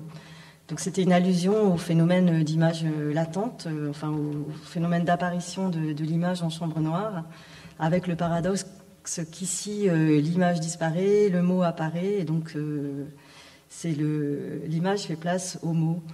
Et ce qui est assez amusant, c'est qu'en fait j'ai appelé cette œuvre Words of Light, à savoir mots de lumière. Et euh, en lisant par hasard un livre de Jean-Christophe Bailly qui s'appelle L'instant et son ombre, j'ai lu que Henri Fox Talbot, en fait, lorsqu'il a inventé le calotype, euh, a, trouvé cette expression words of light pour qualifier euh, son invention. Et donc, du coup, ça, je trouvais intéressant un peu cette dialectique entre la peinture, la photographie, le langage, puisque c'est donc la peinture d'une photographie qui représente des mots de lumière et que les mots de lumière, c'est aussi une définition de la photographie par euh, Fox Talbot.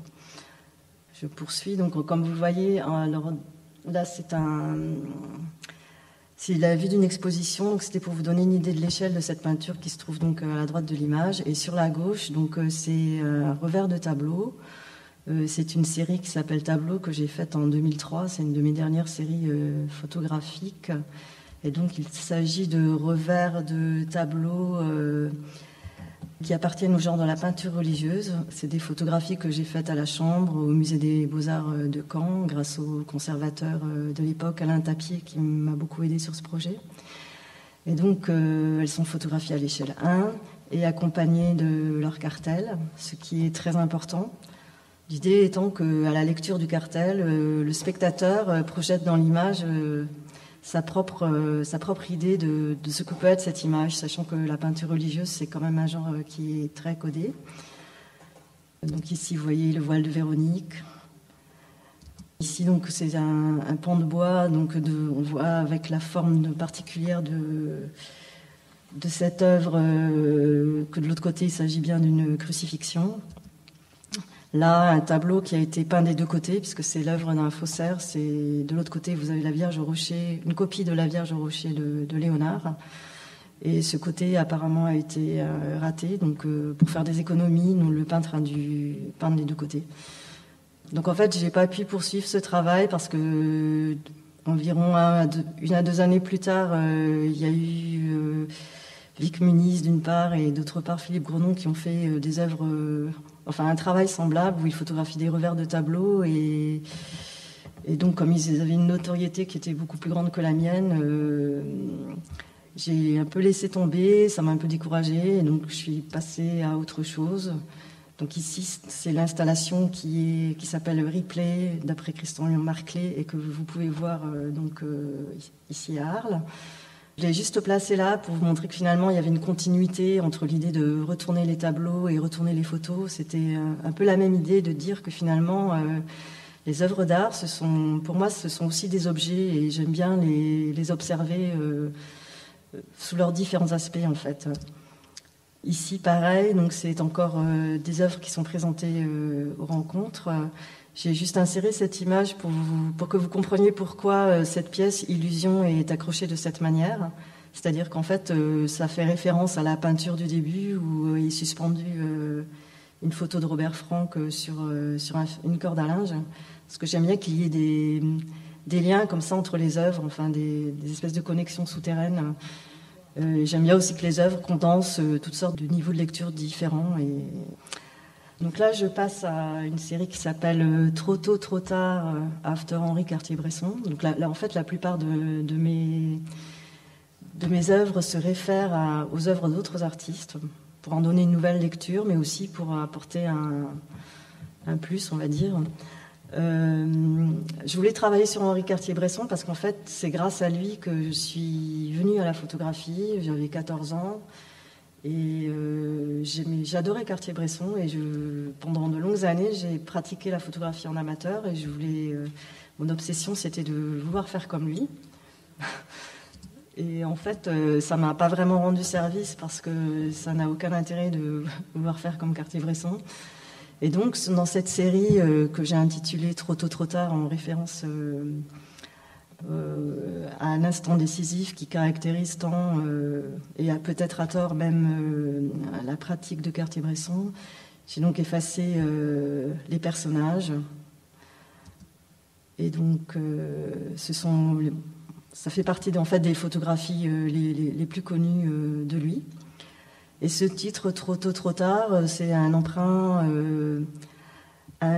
au titre d'un film de Straub et qui sont dans une approche temporelle qui est complètement à l'opposé de Cartier-Bresson, puisque c'est un film où on voit surtout de long travelling et qui est presque à la limite de l'ennui, alors que Cartier-Bresson, il est, dans l'instant.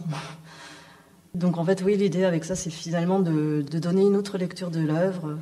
Et en fait, moi, ça m'intéresse assez de déconstruire un travail pour comprendre euh, comment il est fait, essayer de faire apparaître autre chose. Finalement, euh, quand j'ai arrêté de vouloir imiter Cartier-Bresson, je me suis mis à, mise à photographier des rues vides. Donc cette appropriation-là, elle correspond beaucoup plus euh, au travail que moi j'aurais pu faire euh, si j'avais été sur ces lieux-là euh, à cette époque-là, on va dire. Euh, ici, donc, c'est un mobile, un mobile qui est inspiré par une petite animation qui se trouve au début de tous les films de la société Pathé. C'est une animation qui me fascine parce qu'on a des lettres qui tournent et qui ne sortent jamais au support, et donc j'ai voulu vérifier si c'était plausible en remplaçant bien sûr les lettres de pâté par euh, d'autres lettres. Et donc l'idée, en fait, c'était de passer d'une représentation en deux dimensions à une représentation en trois dimensions, donc à savoir euh, inverser en fait le processus euh, photographique. Euh, c'est pas très réussi, mais bon, en fait, j'assume quand même assez l'aspect un peu bricolage de tout ça. Euh, pour vous donner une idée, donc euh, ici il y a à peu près 5 mètres d'auteur de mur, donc c'est quand même une pièce qui est très très grande. Et donc j'en viens, tout ça en fait ce sont des, photographies qui ont été prises lors d'une exposition au Centre d'art contemporain de Basse-Normandie en 2009. Donc j'ai eu une, très grosse exposition là-bas. Et sur la droite, vous voyez donc une installation euh, qui s'appelle Listing, ici donc euh, la même installation présentée au Salon de Montrouge. Euh, je vous disais tout à l'heure que j'avais passé euh, à peu près cinq, années sur un travail d'écriture. ce travail, en fait, c'est, une espèce de classement d'artistes en fonction de ce qu'ils font, de ce qu'ils ont fait ou selon d'autres critères. Donc, comme euh, voilà, je travaillais aux Beaux-Arts dans la documentation, euh, on a souvent affaire à des, à des demandes un peu particulières d'étudiants. Enfin, on est, on est là surtout pour leur donner des références. Et donc, ils viennent avec des demandes assez étranges, en nous disant, par exemple, voilà, qu'ils cherchent des artistes qui font des fenêtres, ou qui travaillent avec des boules, ou qui, euh, qui travaillent avec leurs frères jumeaux ou leurs sœurs jumelles. Et donc, à partir de là est venue l'idée de, de, faire ce classement. Et c'est aussi dans l'idée que finalement aujourd'hui il y a tellement d'artistes qu'on ne sait plus du tout, enfin on a beaucoup de mal à se souvenir euh, de, ce qu'ils font, de leur nom pardon, et donc euh, au lieu de... Pour parler d'eux, souvent on dit oui tu sais c'est celui qui fait ci ou c'est celui qui fait ça, et donc... Euh, de là est née l'idée de ce classement. Il y a aussi le fait que, beaucoup d'artistes font euh, des pièces assez similaires ou rebondissent sur les œuvres d'autres artistes, comme je le fais moi-même. Et donc, comme ce classement finalement a quelque chose de complètement absurde, donc je, le présente sous forme d'une installation avec euh, cette euh, imprimante. Matricielle, donc qui est un, vieux modèle d'imprimante qui fait un, bruit énorme mais qui a quelque chose d'un peu bureaucratique. Et donc pour en montrer toute l'absurdité, donc euh, ce listing est imprimé euh, du début à la fin de l'exposition, donc ça, ça, marche en continu jusqu'à faire cette, cette masse énorme que vous voyez là. En fait, le problème, c'est que donc c'est quand même un texte que j'ai mis beaucoup de temps à écrire. Euh, il est organisé en fait euh, par association d'idées, donc euh, c'est presque de la littérature, on va dire. Et donc j'étais un peu un peu frustrée du fait qu'on voilà qu'on puisse pas lire tout ce qui est inscrit sur ce texte. Et du coup j'ai conçu cette installation vidéo qui donc est constituée par quatre écrans. Euh, chaque écran euh, diffuse un extrait différent du texte. Ça dure euh, plus d'une heure, une heure quinze, je crois. Donc il y a environ cinq heures de, vidéo au total. Vous pouvez trouver cette simulation sur mon site internet. L'idée, c'est que ça évoque un peu comme une, machine à sous, donc un, truc qui s'arrête jamais. Et donc, voilà, c'est complètement. Il y, a une, idiotie qui est tout à fait revendiquée là-dedans, et en même temps, ça correspond à, à la manière dont aujourd'hui on, parle aussi des artistes, puisque c'est souvent une manière assez détendue. Quoi. On n'approfondit pas trop. voilà, un tel, c'est juste celui qui a fait ci ou celui qui a fait ça. Quoi. Et alors en fait, je me suis rendu compte a posteriori que ce travail que j'ai fait dans les brevets d'invention, ça m'a vraiment formaté, on va dire puisque euh, je travaillais pour l'organisation internationale qui délivre les brevets.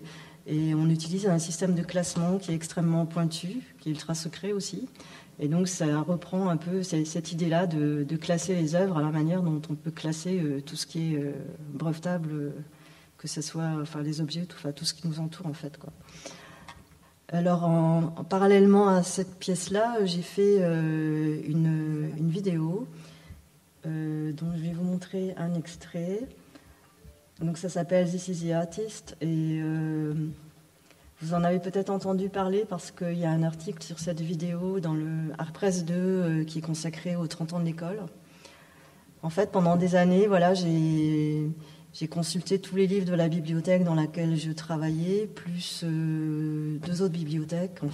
Et j'ai scanné des photographies qui représentent des artistes et je les ai classés en fonction de, motifs récurrents, parce que je me suis rendu compte qu'on photographiait les artistes de, certaines manières.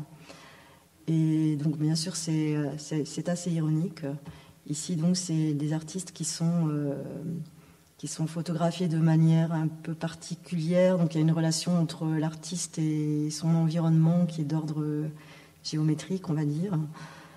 Donc là, cet article dans la presse euh, dit euh, voilà que je, me moque un peu des artistes, mais en fait, c'est pas du tout ça dont il s'agit. Euh, pour moi, il s'agissait plutôt de, de, me moquer en fait de la manière dont l'artiste est représenté, puisque c'est un peu toujours la même chose. Un petit peu plus tard, voilà, j'ai participé à une exposition qui concernait justement le statut de l'artiste, et donc j'ai fait ces pièces qui sont des montages, et donc je me suis servi d'images qui apparaissent dans cette vidéo. Donc ici, c'est des artistes qui posent à côté de leur toile. De ces morceaux de toile euh, que j'ai rassemblés, j'ai fait une, espèce de méga toile avec ces cinq artistes qui posent autour. Et si voilà, c'est pareil. En fait, ce sont, comment dire, euh, vous voyez des ondes portées assez importantes parce que c'est vraiment des volumes. Euh, les, photographies sont contrecollées sur des, épaisseurs qui font 5 ou 6 cm. Voilà, donc à chaque fois, là, je voyais qu'il y avait euh, une analogie entre les images, enfin la manière dont, ici l'artiste est imbriqué dans, entre ses œuvres et, le, décor. Euh, là, donc, c'est euh, une, autre, une autre catégorie d'artistes, c'est ceux qui pointent quelque chose du doigt, quelque chose qu'on ne voit pas, et à côté, donc, il y a une assistante qui a l'air de rien comprendre à ce qui se passe. Donc, j'ai repris ces photographies-là et je les ai je les ai fait imprimer sur de la toile et donc là, il montre un clou. C'est, toujours euh, aussi ironique que, le reste. Ici, des artistes pensifs qui sont donc euh, la main devant la bouche et donc j'ai collé les images derrière euh, un grand miroir qui a été retourné et qui est une allusion à une œuvre de Ken Loom où on voit des photos de famille qui sont insérées au coin de enfin qui sont insérées dans les cadres des miroirs. Et euh, le propos de Kenloum étant de, parler de la relation de, du, spectateur à l'œuvre, alors que mon propos à moi, c'est étant de montrer que derrière les œuvres, il y a, des artistes qui pensent et que, avec ironie, j'ai intitulé cette pièce euh, euh, Éloge de la main, After Kenloum, puisque ici la main, c'est l'outil de la pensée en fait, tel qu'on le voit sur ces photographies. Euh, ici, donc, une, vue d'une exposition qui s'est tenue à la, donc à la galerie Christophe Gaillard euh, à l'automne dernier. Et donc, vous voyez tout au fond euh, une pièce qui est inspirée par un tableau de Francis Alice. Donc, Francis Alice a fait exécuter plusieurs copies de ses peintures par des artistes mexicains.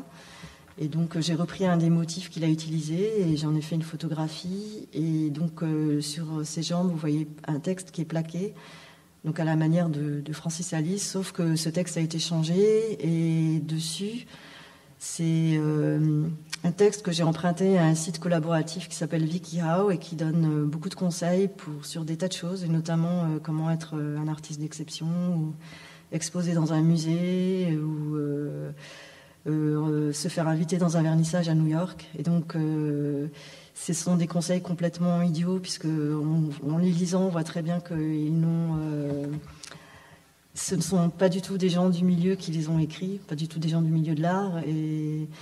Et en fait, ça, m'amusait assez dans la mesure où John Baldessari lui-même a, aussi euh, fait une toile qui s'appelle euh, Tips for Artists Who Want to Sell, donc des conseils aux artistes qui veulent vendre, et qui donc conseille d'utiliser des couleurs claires ou de peindre des madones. Et là, on retrouve le même type de conseils donnés par des gens qui se croient assez sérieux.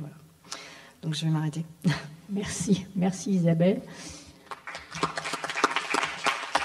dernier artiste, Mehdi Moudassi, qui est euh, qui vit et travaille à Paris, qui a été donc euh, diplômé de l'École nationale supérieure d'art en 2006. Lui aussi, il a fait le Frénois ensuite.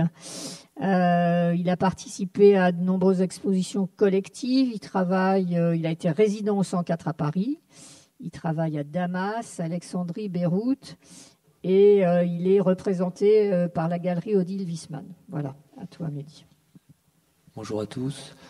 Euh, moi, en fait, ça va être un peu plus court. J'ai l'impression qu'il y a besoin d'une poche, là, une poche de, respiration, mais très bien, parce que tout ce qui a été dit a été très bien, surtout que dans mon travail, il y a beaucoup de choses qui, sont à peu près, euh, qui ont été abordées par beaucoup d'entre vous. En fait, moi, donc, je suis sorti de l'école d'Arles, en fait, en, 2006, et j'ai enchaîné directement par le Frénois euh, de 2006 à 2008.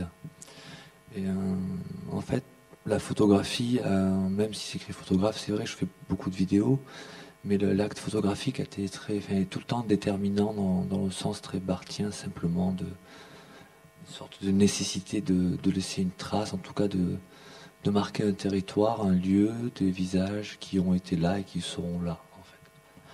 En fait, moi, ce que j'ai envie de faire là, c'est que par rapport à, la pièce euh, qui est montrée aux ateliers SNCF, qui s'appelle euh, Mur, j'avais envie en fait de, montrer un premier volet qui est parce que dans, mon travail il y a cette question aussi de, cheminement tout le temps comme si euh, il y avait une sorte de notion de film sans fin à travers euh, la question de l'exil mais au sens d'une trajectoire comme ça peut-être d'un territoire qui devient résurgent qui là en l'occurrence est l'Algérie mais qui je pense va se métamorphoser plus tard dans d'autres territoires mais en tout cas là en ce moment c'est la question du territoire algérien en tout cas en ce moment et j'avais envie en fait de, projeter en fait euh, une vidéo qui s'appelle Lancer une pierre.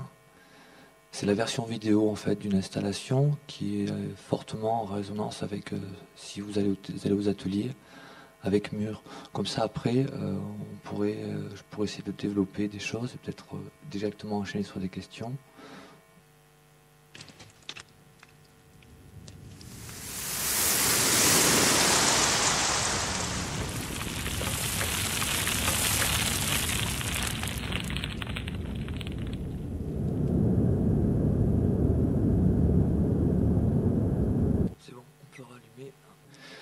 En cette installation, se, elle se formule en fait euh, comme un mur.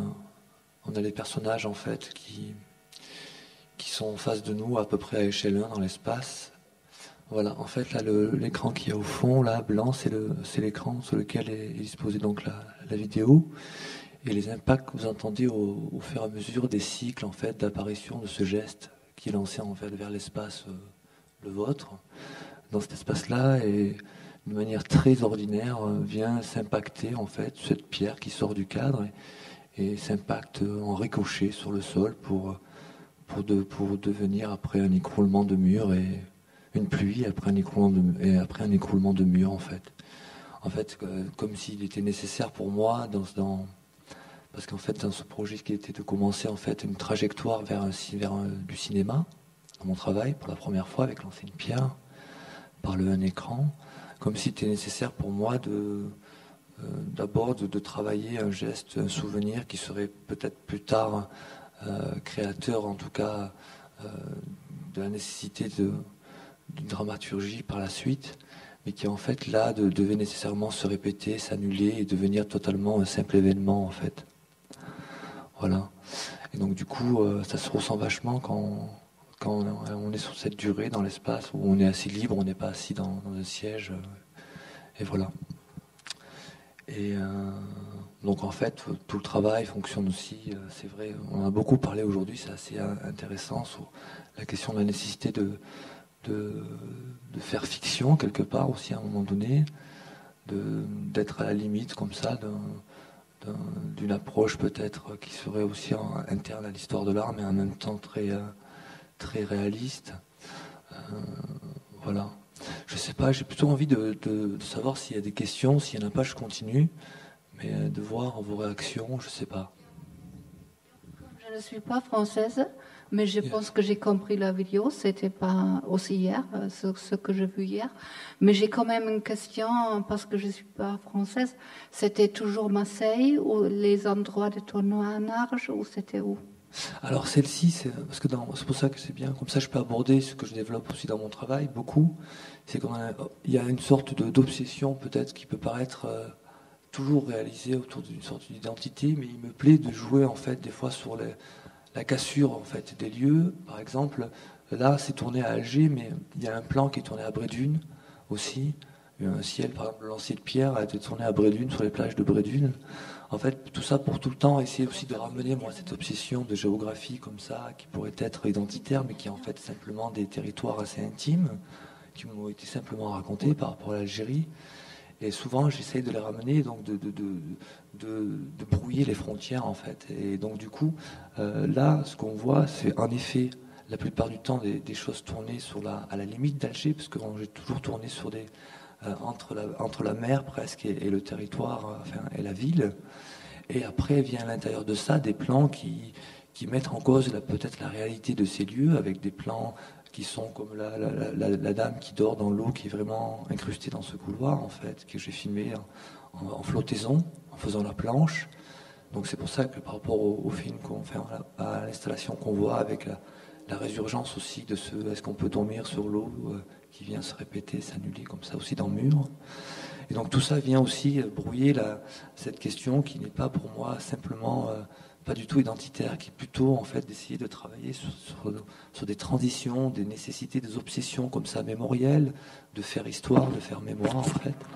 Mais euh, bien sûr, moi, en ce qui me concerne, tout le temps par le vecteur d'une histoire personnelle à la base, mais j'espère qu'il par l'avenir s'élargira en fait.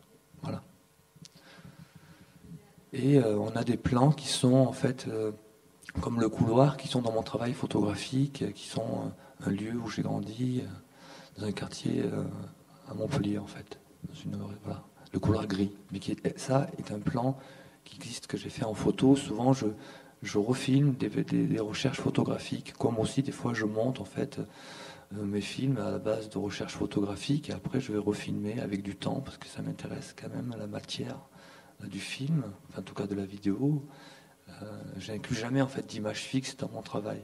J'en ai beaucoup, et là, je cherche la manière aussi de, les mettre en apparition, parce que je me questionne beaucoup sur, la, problématique de qu'est-ce que la série, voilà, ou, qu'est-ce que le trop d'images aussi. Donc je cherche un équilibre hein, en ce moment, mais, euh, mais je fais beaucoup de photographies en fait qui, sont fortes quelque part, hein, les storyboards, si on peut dire ça comme ça, des, des vidéos et des installations.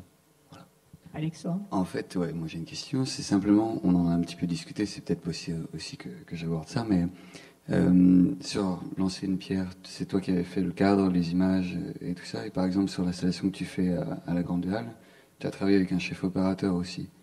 Et euh, je voulais simplement te demander, parce que je vois euh, le, dans le premier travail, dans celui que tu montres ici, les cadres sont très photographiques finalement, au, millimètre, et il y a plus de, liberté de, respiration.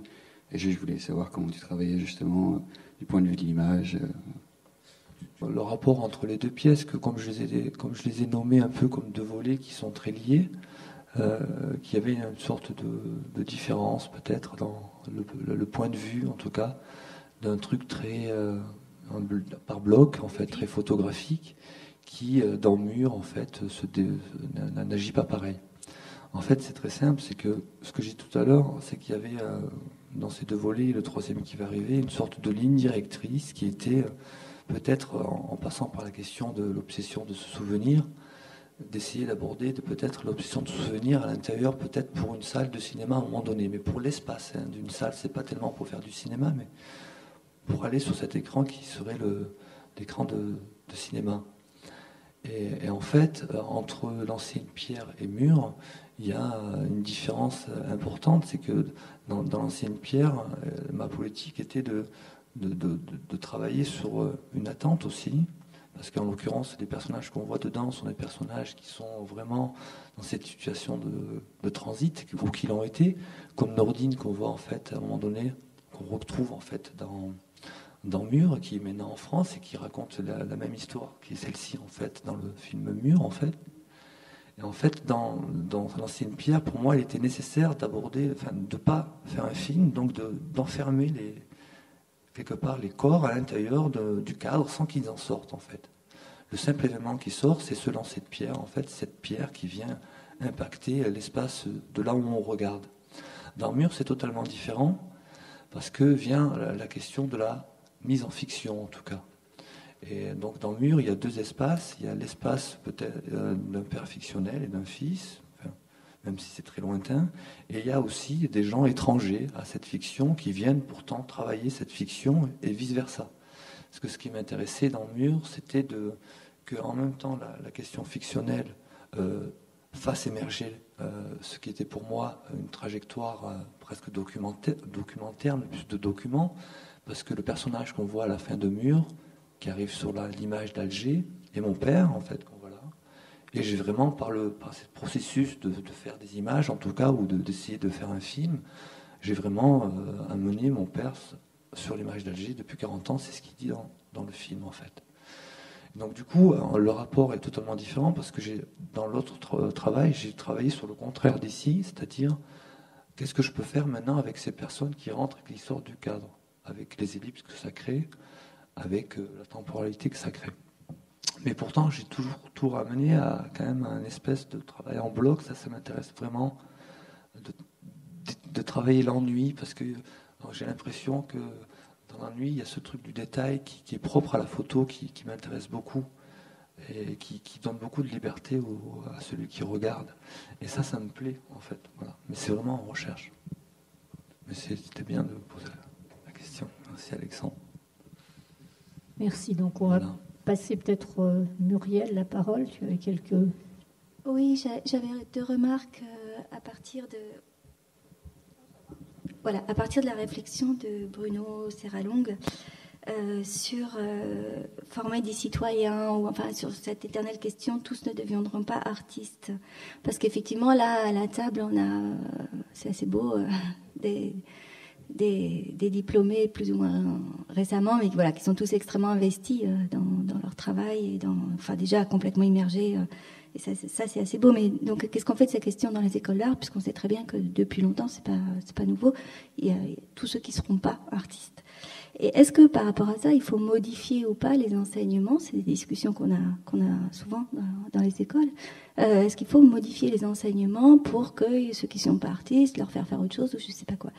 Et moi, je trouve qu'il y a, enfin, c'est un domaine de réflexion, mais il y a un, grand danger, c'est-à-dire que euh, je pense que, le niveau de, réflexion sur l'acuité du regard, aiguiser le regard, euh, vraiment apprendre à lire les images qu'on peut proposer dans, les écoles d'art actuellement, pour, comprendre, euh, pour, enfin, dans, l'idée de faire, de former des artistes auteurs, photographes, etc. Euh, je pense qu'elle bénéficie finalement à, tout le monde. Et ce qui, ce qui ce qui me fait peur dans l'idée d'ouvrir un peu plus, euh, je suis assez convaincue de ça, j'ai peur aussi de l'idée de former des professionnels assez habiles sur plusieurs terrains, parler, faire de la médiation, etc. Mais, finalement, euh, qui, peut-être pourraient récupérer des codes avec pas mal d'habileté. voilà, il y a peut-être là un autre formatage possible en fait mais je ne pense pas que c'est ce que Bruno Serralong disait, je ne pense pas qu'il allait dans ce sens-là, mais c'est juste que ta réflexion m'a fait euh, euh, remettre euh, sur, la table cette question. Qu'est-ce qu'on fait Est-ce qu'on modifie l'enseignement parce qu'il y en a un pourcentage qui ne devient pas artiste, qui est effectivement inévitable Et donc voilà, la question d'un autre formatage possible de devenir des, professionnels de, oui, de la culture de l'image, de la médiation. Est-ce que l'école d'art est, faite pour ça? C'est une question ouverte. Sachant que de toute façon, l'école d'art en est une euh, preuve, c'est qu'il y a énormément d'étudiants qui sortent, qui ont été commissaires, euh, qui n'ont pas fait des, qui ont fait des, tout, un des, métiers périphériques, enfin périphériques, enfin, complètement dans l'image, mais pas artiste, mais commissaire critique, etc. L'autre, l'autre réflexion, encore une fois, sur, sur formatage, parce que j'étais un peu partie là-dessus ce matin, c'est la, trilogie, puisqu'on on a beaucoup parlé du Ferrénois, entre école, outils et esthétique. Et en fait, dans, dans, des écoles où il y a surtout avec les outils euh, technologiques, euh, anciens, nouvelles, nouvelles technologies, anciennes technologies, c'est pas trop le problème, mais il y a, encore une fois, Bruno Serralang l'a dit tout à l'heure, réinterroger sans cesse l'outil, qu'est-ce qu'on en fait? Et, euh, ça, dans une école pluridisciplinaire, un outil est mis en péril de manière assez naturelle par les autres, et puis de toute façon, voilà, enfin, ça, ça, ça. Et, je trouve que, par exemple, dans l'expérience du Frénois, avec les reculs, euh, nous, depuis plusieurs années, on peut voir euh, une, vidéo. Enfin, souvent, on se dit, tiens, ça, c'est un peu esthétique Frénois, mais c'est pas, pas, ça veut rien dire. C'est juste qu'il y, a, un programme euh, des outils, du plateau, de la lumière plateau, etc. Il y a un programme aussi de l'école. Qui, qui donne des contraintes, comme l'a dit Alexandre, et qui fait qu'en une année, il faut, il faut se, coltiner tout ça. Je, pense, je trouve que tu as très bien répondu sur le fait que moi, c'est une expérience d'un an. Et, voilà, mais malgré tout, puisque quand une école donne des outils, peut-être plus ils sont performants, plus euh, effectivement, la marque de cet outil, c'est très très difficile de, la. Enfin, c'est difficile, c'est un réel enjeu de, l'interroger, de le détourner, de le réapproprier à ses propres préoccupations, enfin, de ne pas laisser faire le programme euh, tout ça d'une certaine manière. D'où l'expérimentation dont, dont, je parlais tout à l'heure. Voilà, c'était juste Est-ce que le frénois, fait ce qu'il y a une esthétique frénois C'est ça la non, question Non, mais en fait, c'est pas tant sur ce mode-là que je veux la poser. Je trouve qu'effectivement, on, on, oui, on, on, le reconnaît, mais je ne crois pas que ce soit un problème. Je trouve que de l'extérieur, on, on, le reconnaît quand on voit des œuvres, euh, pas toutes et pas systématiquement, mais il y a une certaine. Euh, un certain mode, puisqu'il y a un, mode de fabrication des, des, des, œuvres qui est, qui est dans une certaine contrainte, du coup, on, peut de cette manière reconnaître. Ça, c'est dû aussi euh, beaucoup, je pense, que, comme on pourrait dire qu'il y a euh, peut-être une esthétique Arles, simplement à, la force de certains, de certains médiums qui sont entre guillemets contemporains ou pas. Non, la photographie est un peu plus moderne maintenant, mais c'est vrai que ce qui est choquant régulièrement dans Enfin, c'est pas, pas que c'est choquant, c'est que c'est le, les dispositifs qui se mettent en place, donc qui se cherchent avec très peu de moyens. Donc forcément, il y a des choses qui peuvent se répéter, c'est vrai. Mais c'est vrai que la question de l'élargissement, en tout cas du cadre euh, d'une vidéo, ou, ou, la question de la participation, etc., sont des choses qui sont abordées quand même euh, euh en un an ou deux, mais régulièrement en un an. Donc on cherche des choses et forcément, des fois, les pièces évoluent.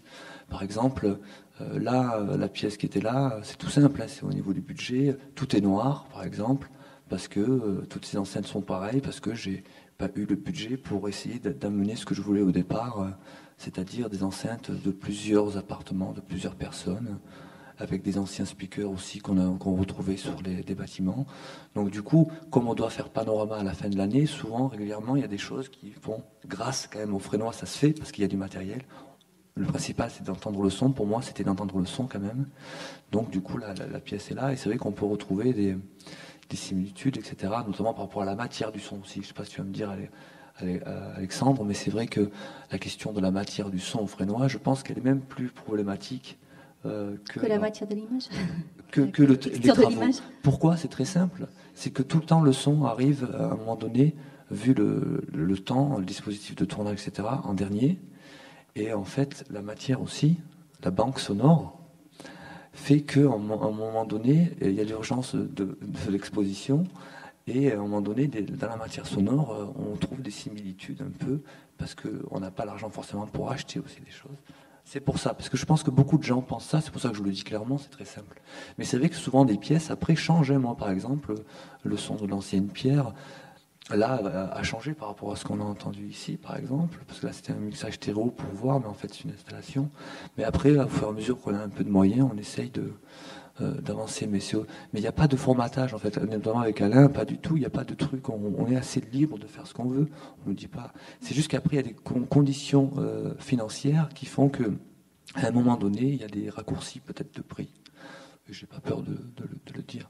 Mais jamais sur le fond du travail. Oui, oui, non, je, là, je parlais bien, c'est ça ce que tu dis, des conditions financières, ou technologiques ou techniques, mais, mais euh, je ne parlais pas du tout. Mais je pense, ça, c'est une réflexion qui dépasse aussi la question de l'école, simplement, c'est la question de euh, la matière, en fait, euh, qu'elle soit visuelle ou mais de notre temps, qui fait que toutes les choses qui sont un peu, où on n'a pas nos repères, en fait, des repères, forcément, euh, ça peut paraître répétitif parce qu'en fait, on n'a pas du tout de repères, donc on n'analyse pas la chose de la même manière. Je parle des installations euh, numériques, etc. Euh, des fois, même dans la pratique, il y, a des choses qui font que comme c'est tout nouveau, la, question des capteurs, par exemple, au fur et à mesure ça avance. Avant, c'était un capteur de mouvement qui permettait ça, ça, ça. On croit qu'on écrit des choses super intéressantes dans le positionnement du spectateur par rapport à ces trucs-là, mais en fait, à la fin, euh, du coup, le capteur il fait que ça, et du coup, les choses, le champ de réflexion se réduit. Et, donc, du coup, c'est ça. Mais je pense qu'il faut quand même euh, chercher dans, ce milieu-là parce que c'est de maintenant et, qu'il faut euh, creuser les questions aussi. Et la photographie, je pense qu'à une époque aussi, on pouvait dire qu'il y avait une école. Enfin, qu'il y avait des écoles parce qu'on photographiait du réel comme ça. C'était en tout cas Séveras et ça se répétait. Aujourd'hui, grâce à l'histoire, grâce aux pratiques différentes de, plusieurs, on a réussi à creuser des champs totalement différents. Mais je pense qu'au départ, on disait euh, c'est les photographes parce qu'ils photographient la réalité. Je la, sais pas la différence aussi entre photographie documentaire et plasticienne qui n'existe plus maintenant pratiquement. Oui, qui est assez, beaucoup moins, beaucoup moins franche, c'est vrai. Christine, tu avais des questions, toi?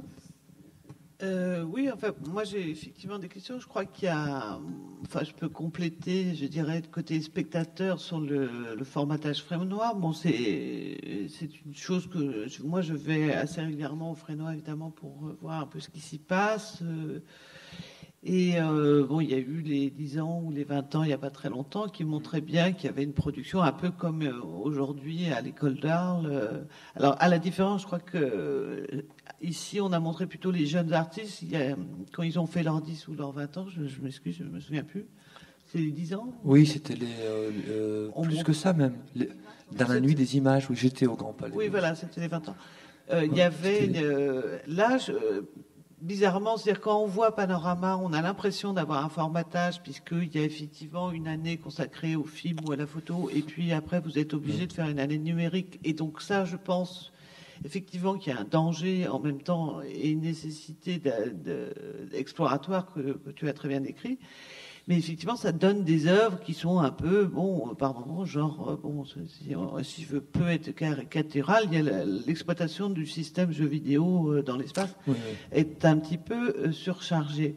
Mais en regard de ça, le, le, travail sur 20 ans était étonnant, puisqu'on a, là, on voyait quelque part le best-of, et il y avait des choses très, très étonnantes et très, très variées. Donc, je pense que le, le formatage, finalement, ça dépend aussi beaucoup, beaucoup des artistes. Par contre, euh, alors moi, effectivement, je répondis aussi sur l'aspect non artiste, puisque étant galerie, je suis un peu le réceptacle de de demandes de gens qui ont fait des écoles d'art et qui sont, à mon sens, pas forcément des artistes. Mais donc il y a vraiment, alors je ne sais pas s'il faut changer le système des écoles, mais ce qui est effectivement navrant, c'est qu'on fait accroire à beaucoup de gens qu'ils sont artistes parce qu'ils font l'école. Alors c'est bon, c'est peut-être leur problème personnel.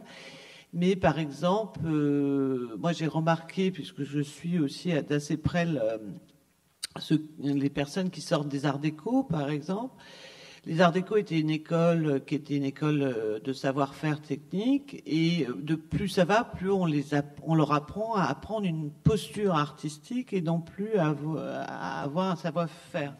Bon, le frénois, c'est encore autre chose, puisque ce qui est intéressant dans le le Frénois, c'est que c'est pas une école, c'est une boîte de prod en réalité. Donc, euh, alors effectivement, il y a des contraintes puisque on vous dit pendant six mois vous allez produire et puis après, euh, enfin pendant six mois, pardon, vous montez votre budget, vous apprenez à le faire, ce qui est plutôt à bon sens très très bien parce que euh, je pense que c'est très important de se donner les moyens de produire son œuvre. Et aujourd'hui, se donner les moyens, effectivement, c'est parfois colossal. Mais donc oui, moi ça me pose un problème, en tout cas, euh, de voir défiler de plus en plus des gens euh, qui euh, ont non pas cette notion de faire école, je crois que c'était toi, effectivement, comme l'école de Cergy, l'école de Düsseldorf, l'Institut des hautes études. Aujourd'hui, on n'est plus, on n'a pas une appartenance à une communauté intellectuelle. On, on a une posture sociale qui est celui de l'artiste. Malheureusement, je pense que tout le monde ne peut pas l'être et on forme, euh, ça c'est quand même la question, énormément de gens à être artistes et non pas à pouvoir faire autre chose. Bon, est-ce que c'est un, euh, quand on fait des, études d'avocat et qu'on ne devient pas avocat, ça existe aussi. Mais c'est vrai que c'est un peu, je trouve ça assez fallacieux, mais je ne pense pas qu'on peut le résoudre. Et en fait, ma question, c'est, c'est pour ça que je parle, je pas là-dessus. Euh, aujourd'hui, on, alors on, fait euh, comme Bruno Serralon, qui est pourtant plus âgé, on fait finalement 10, 12 ans d'études. On fait, euh, bon, les, premiers, on sait les post-diplômes de Nantes, donc c'est vraiment le post-diplôme. J'insiste sur le côté post, puisqu'on a déjà le diplôme, donc euh, voilà. On va au Frédois pour produire après avoir fait euh, l'école d'art, et avant on a fait autre chose. Ça fait quand même des, durées colossales de temps. Alors je comprends que ça peut aider à produire, mais c'est quoi entre l'idée de... Je comprends aussi qu'il faut avoir une formation à la fois esthétique, donc euh, conceptuelle ou théorique. Ça, ça me paraît euh, intéressant. Mais quelle est cette signification de... Je ne sais pas si avant, enfin, je crois qu'il n'y avait pas ces post-diplômes, il n'y avait pas tout ça. Donc d'où ça vient cette nécessité C'est une peur de sortir ou c'est juste un moyen de produire ou, effectivement est-ce que ça correspond à cette idée euh, Parce qu'il y a ça aussi maintenant à Venise, il y a ça aussi aux États-Unis par exemple qui sont sont même plus des post-diplômes, ce sont des des masterclass avec les très très grands artistes comme euh, X ou Y, enfin bon, je ne vais pas les citer. Et euh, c'est l'idée du lieu de rencontre. Alors ça, mm. effectivement, je crois que ça joue aussi. Euh, voilà, bon, on parle beaucoup du Frénois, on peut parler aussi d'Arles, puisqu'il y a des, effectivement euh, non seulement les, profs sur place, puis je sais que vous accueillez énormément de, de personnes qui, à l'année qui viennent voir. Voilà, c'est un peu mes questions, c'est un peu l'ensemble. Juste pour compléter la question c'est vrai que moi j'ai parlé aussi avec des étudiants d'école d'art, mais qui n'étaient pas arts d'ailleurs précisément, qui disaient en fait quand on sort de l'école, c'est un peu compliqué parce qu'on n'est presque pas orphelin, mais bon voilà, on a passé 4 ans, 5 ans, on a été quand même très entouré, enseignant, etc. Et puis on se retrouve finalement euh, face à la réalité. Ben, en fait, c'est, euh, tu viens de répondre. Alors, enfin, je pense que c'est, ça dépend aussi. Euh, qu'est-ce qu'on fait pendant ses études Est-ce qu'on est un étudiant ou est-ce qu'on on s'y met et qu'on est déjà dans le monde réel et que, et que est-ce qu'on considère qu'une école c'est une bulle euh, qui nous protège de l'extérieur? Ou au contraire, ben, j'y vais la journée, mais je vais le soir faire autre chose. Le week-end, je bouge. Enfin, j'ai des temps de production, des temps de réflexion. Je pense que c'est, c'est vraiment, ça dépend de, de, de, de chacun, bien sûr, mais moi, j'ai jamais considéré que j'étais enfermé à Arles et que j'ai même j'ai eu l'inconscience ou la naïveté ou, la, connerie de, de, jamais considérer que j'étais étudiant, en fait. Je sais pas, moi, je suis arrivé, j'avais fait d'autres choses avant. J'étais, euh, je suis arrivé, j'avais 26 ans euh, à l'école de la photo. Et, je pense que, enfin, ça m'a pas empêché de continuer de faire plein d'autres choses à côté, et que, effectivement, j'avais ce moment privilégié où je rencontrais des professeurs euh, des artistes invités où j'avais finalement aussi le, temps. D'autres étudiants, je suppose. Et d'autres étudiants, bien sûr, c'est ça qui est le plus intéressant. Et la bibliothèque, ne l'oublions pas, parce que tout le monde euh, finalement évoque ça, mais c'est vrai. Et après, je dirais qu'aussi, euh, l'autre bout du monde n'a jamais été aussi proche. ça, je répondrais plutôt à, Christine. Et je trouve que c'est c'est aussi dans une époque où il y a énormément, énormément de de propositions, il est énormément euh, facile de communiquer que, ce soit sur les réseaux sociaux, toujours poster une actualité, euh, toujours euh, finalement essayer d'attirer l'attention et des choses comme ça. Et là, ça devient plutôt une stratégie de communication et, pas forcément une, comment dire, une, mise en avant. Et je pense que si, certaines personnes passent par des lieux comme les Frénois pour avoir finalement la, la, marque Frénois ou alors la touche Frénois ou, la, ou que ce soit finalement c'est la même chose pour les, grandes résidences ou les, euh, ou les galeries, même finalement. Je suis chez un tel, c'est quelque chose un peu qui à soi, en fait, pas forcément une, notoriété, mais une, reconnaissance euh, qui est peut-être des fois facile. Mais, euh, et donc je pense que c'est aussi une, intelligence de ça qui pousse bah, les jeunes qui veulent faire vivre d'une pratique artistique et à essayer de chercher justement une reconnaissance tant bien que mal dans ce bouillonnement de propositions. Et donc peut-être que passer par des, des maisons, des, institutions pourra finalement les, les, aider ou leur faire gagner un petit peu de temps, je sais pas. Enfin, mais c'est aussi, ça c'est, je veux dire, c'est, je, je trouve que c'est dommage de raisonner comme ça. C'est honnête. Merci. Voilà, je ne sais pas si quelqu'un. J'aimerais bien que Bruno réponde un peu. De toute façon, une école actuellement, elle ne se vit plus euh, seule, elle se vit aussi en réseau, c'est-à-dire que cette idée du réseau, euh, bon, que chaque étudiant aussi euh, pratique via Facebook ou Twitter, hein, l'école la pratique à sa manière en cherchant avec quelle école elle va pouvoir entretenir des liens et envoyer des étudiants. Donc on est dans un système complètement mondialisé, en fait qui change la manière d'envisager la pédagogie, euh, que ce soit de la photographie, de la peinture ou de n'importe quel médium euh, qui se veut artistique, parce que euh, on a les étudiants, par exemple, si je parle moi de ma pratique d'enseignant, on a des étudiants pendant quelques heures par jour, mais après ils sont à nouveau branchés sur leur propre réseau. Donc on a un réseau qui inclut d'autres réseaux et finalement tout ça s'interfère. Donc on s'aperçoit que ce qui est le plus dur dans l'enseignement actuellement, c'est de maintenir les étudiants euh, attentifs à ce qu'on peut leur proposer euh, et qu'on euh, leur propose de, fournir un travail. Et je m'aperçois que quelques temps après, par exemple, ils ont un autre travail qu'ils ne nous montrent pas. Donc il y a parce qu'il existe dans un autre réseau. Donc il y a comme ça différents problèmes qui se posent dans l'enseignement actuel, dont celui-là, celui de la mondialisation en fait.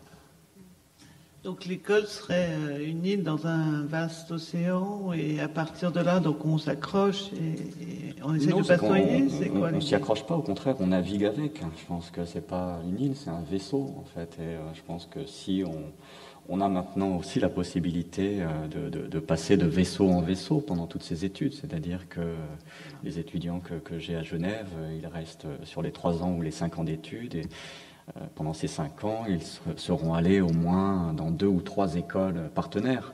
Donc on n'est pas une île, on est bien évidemment embarqué sur un, réseau qui se complète en fait. Et c'est pour ça que cette notion d'école peut-être perd, ou, enfin, de marque, en tout cas de marquage euh, fort, euh, perd son intensité parce qu'il il ne passe euh, finalement avec nous dans l'école que quelques, quelques mois et après ils vont aller recevoir l'enseignement d'autres, d'autres écoles et d'autres artistes enseignants. Donc il y a une ouverture comme ça aussi.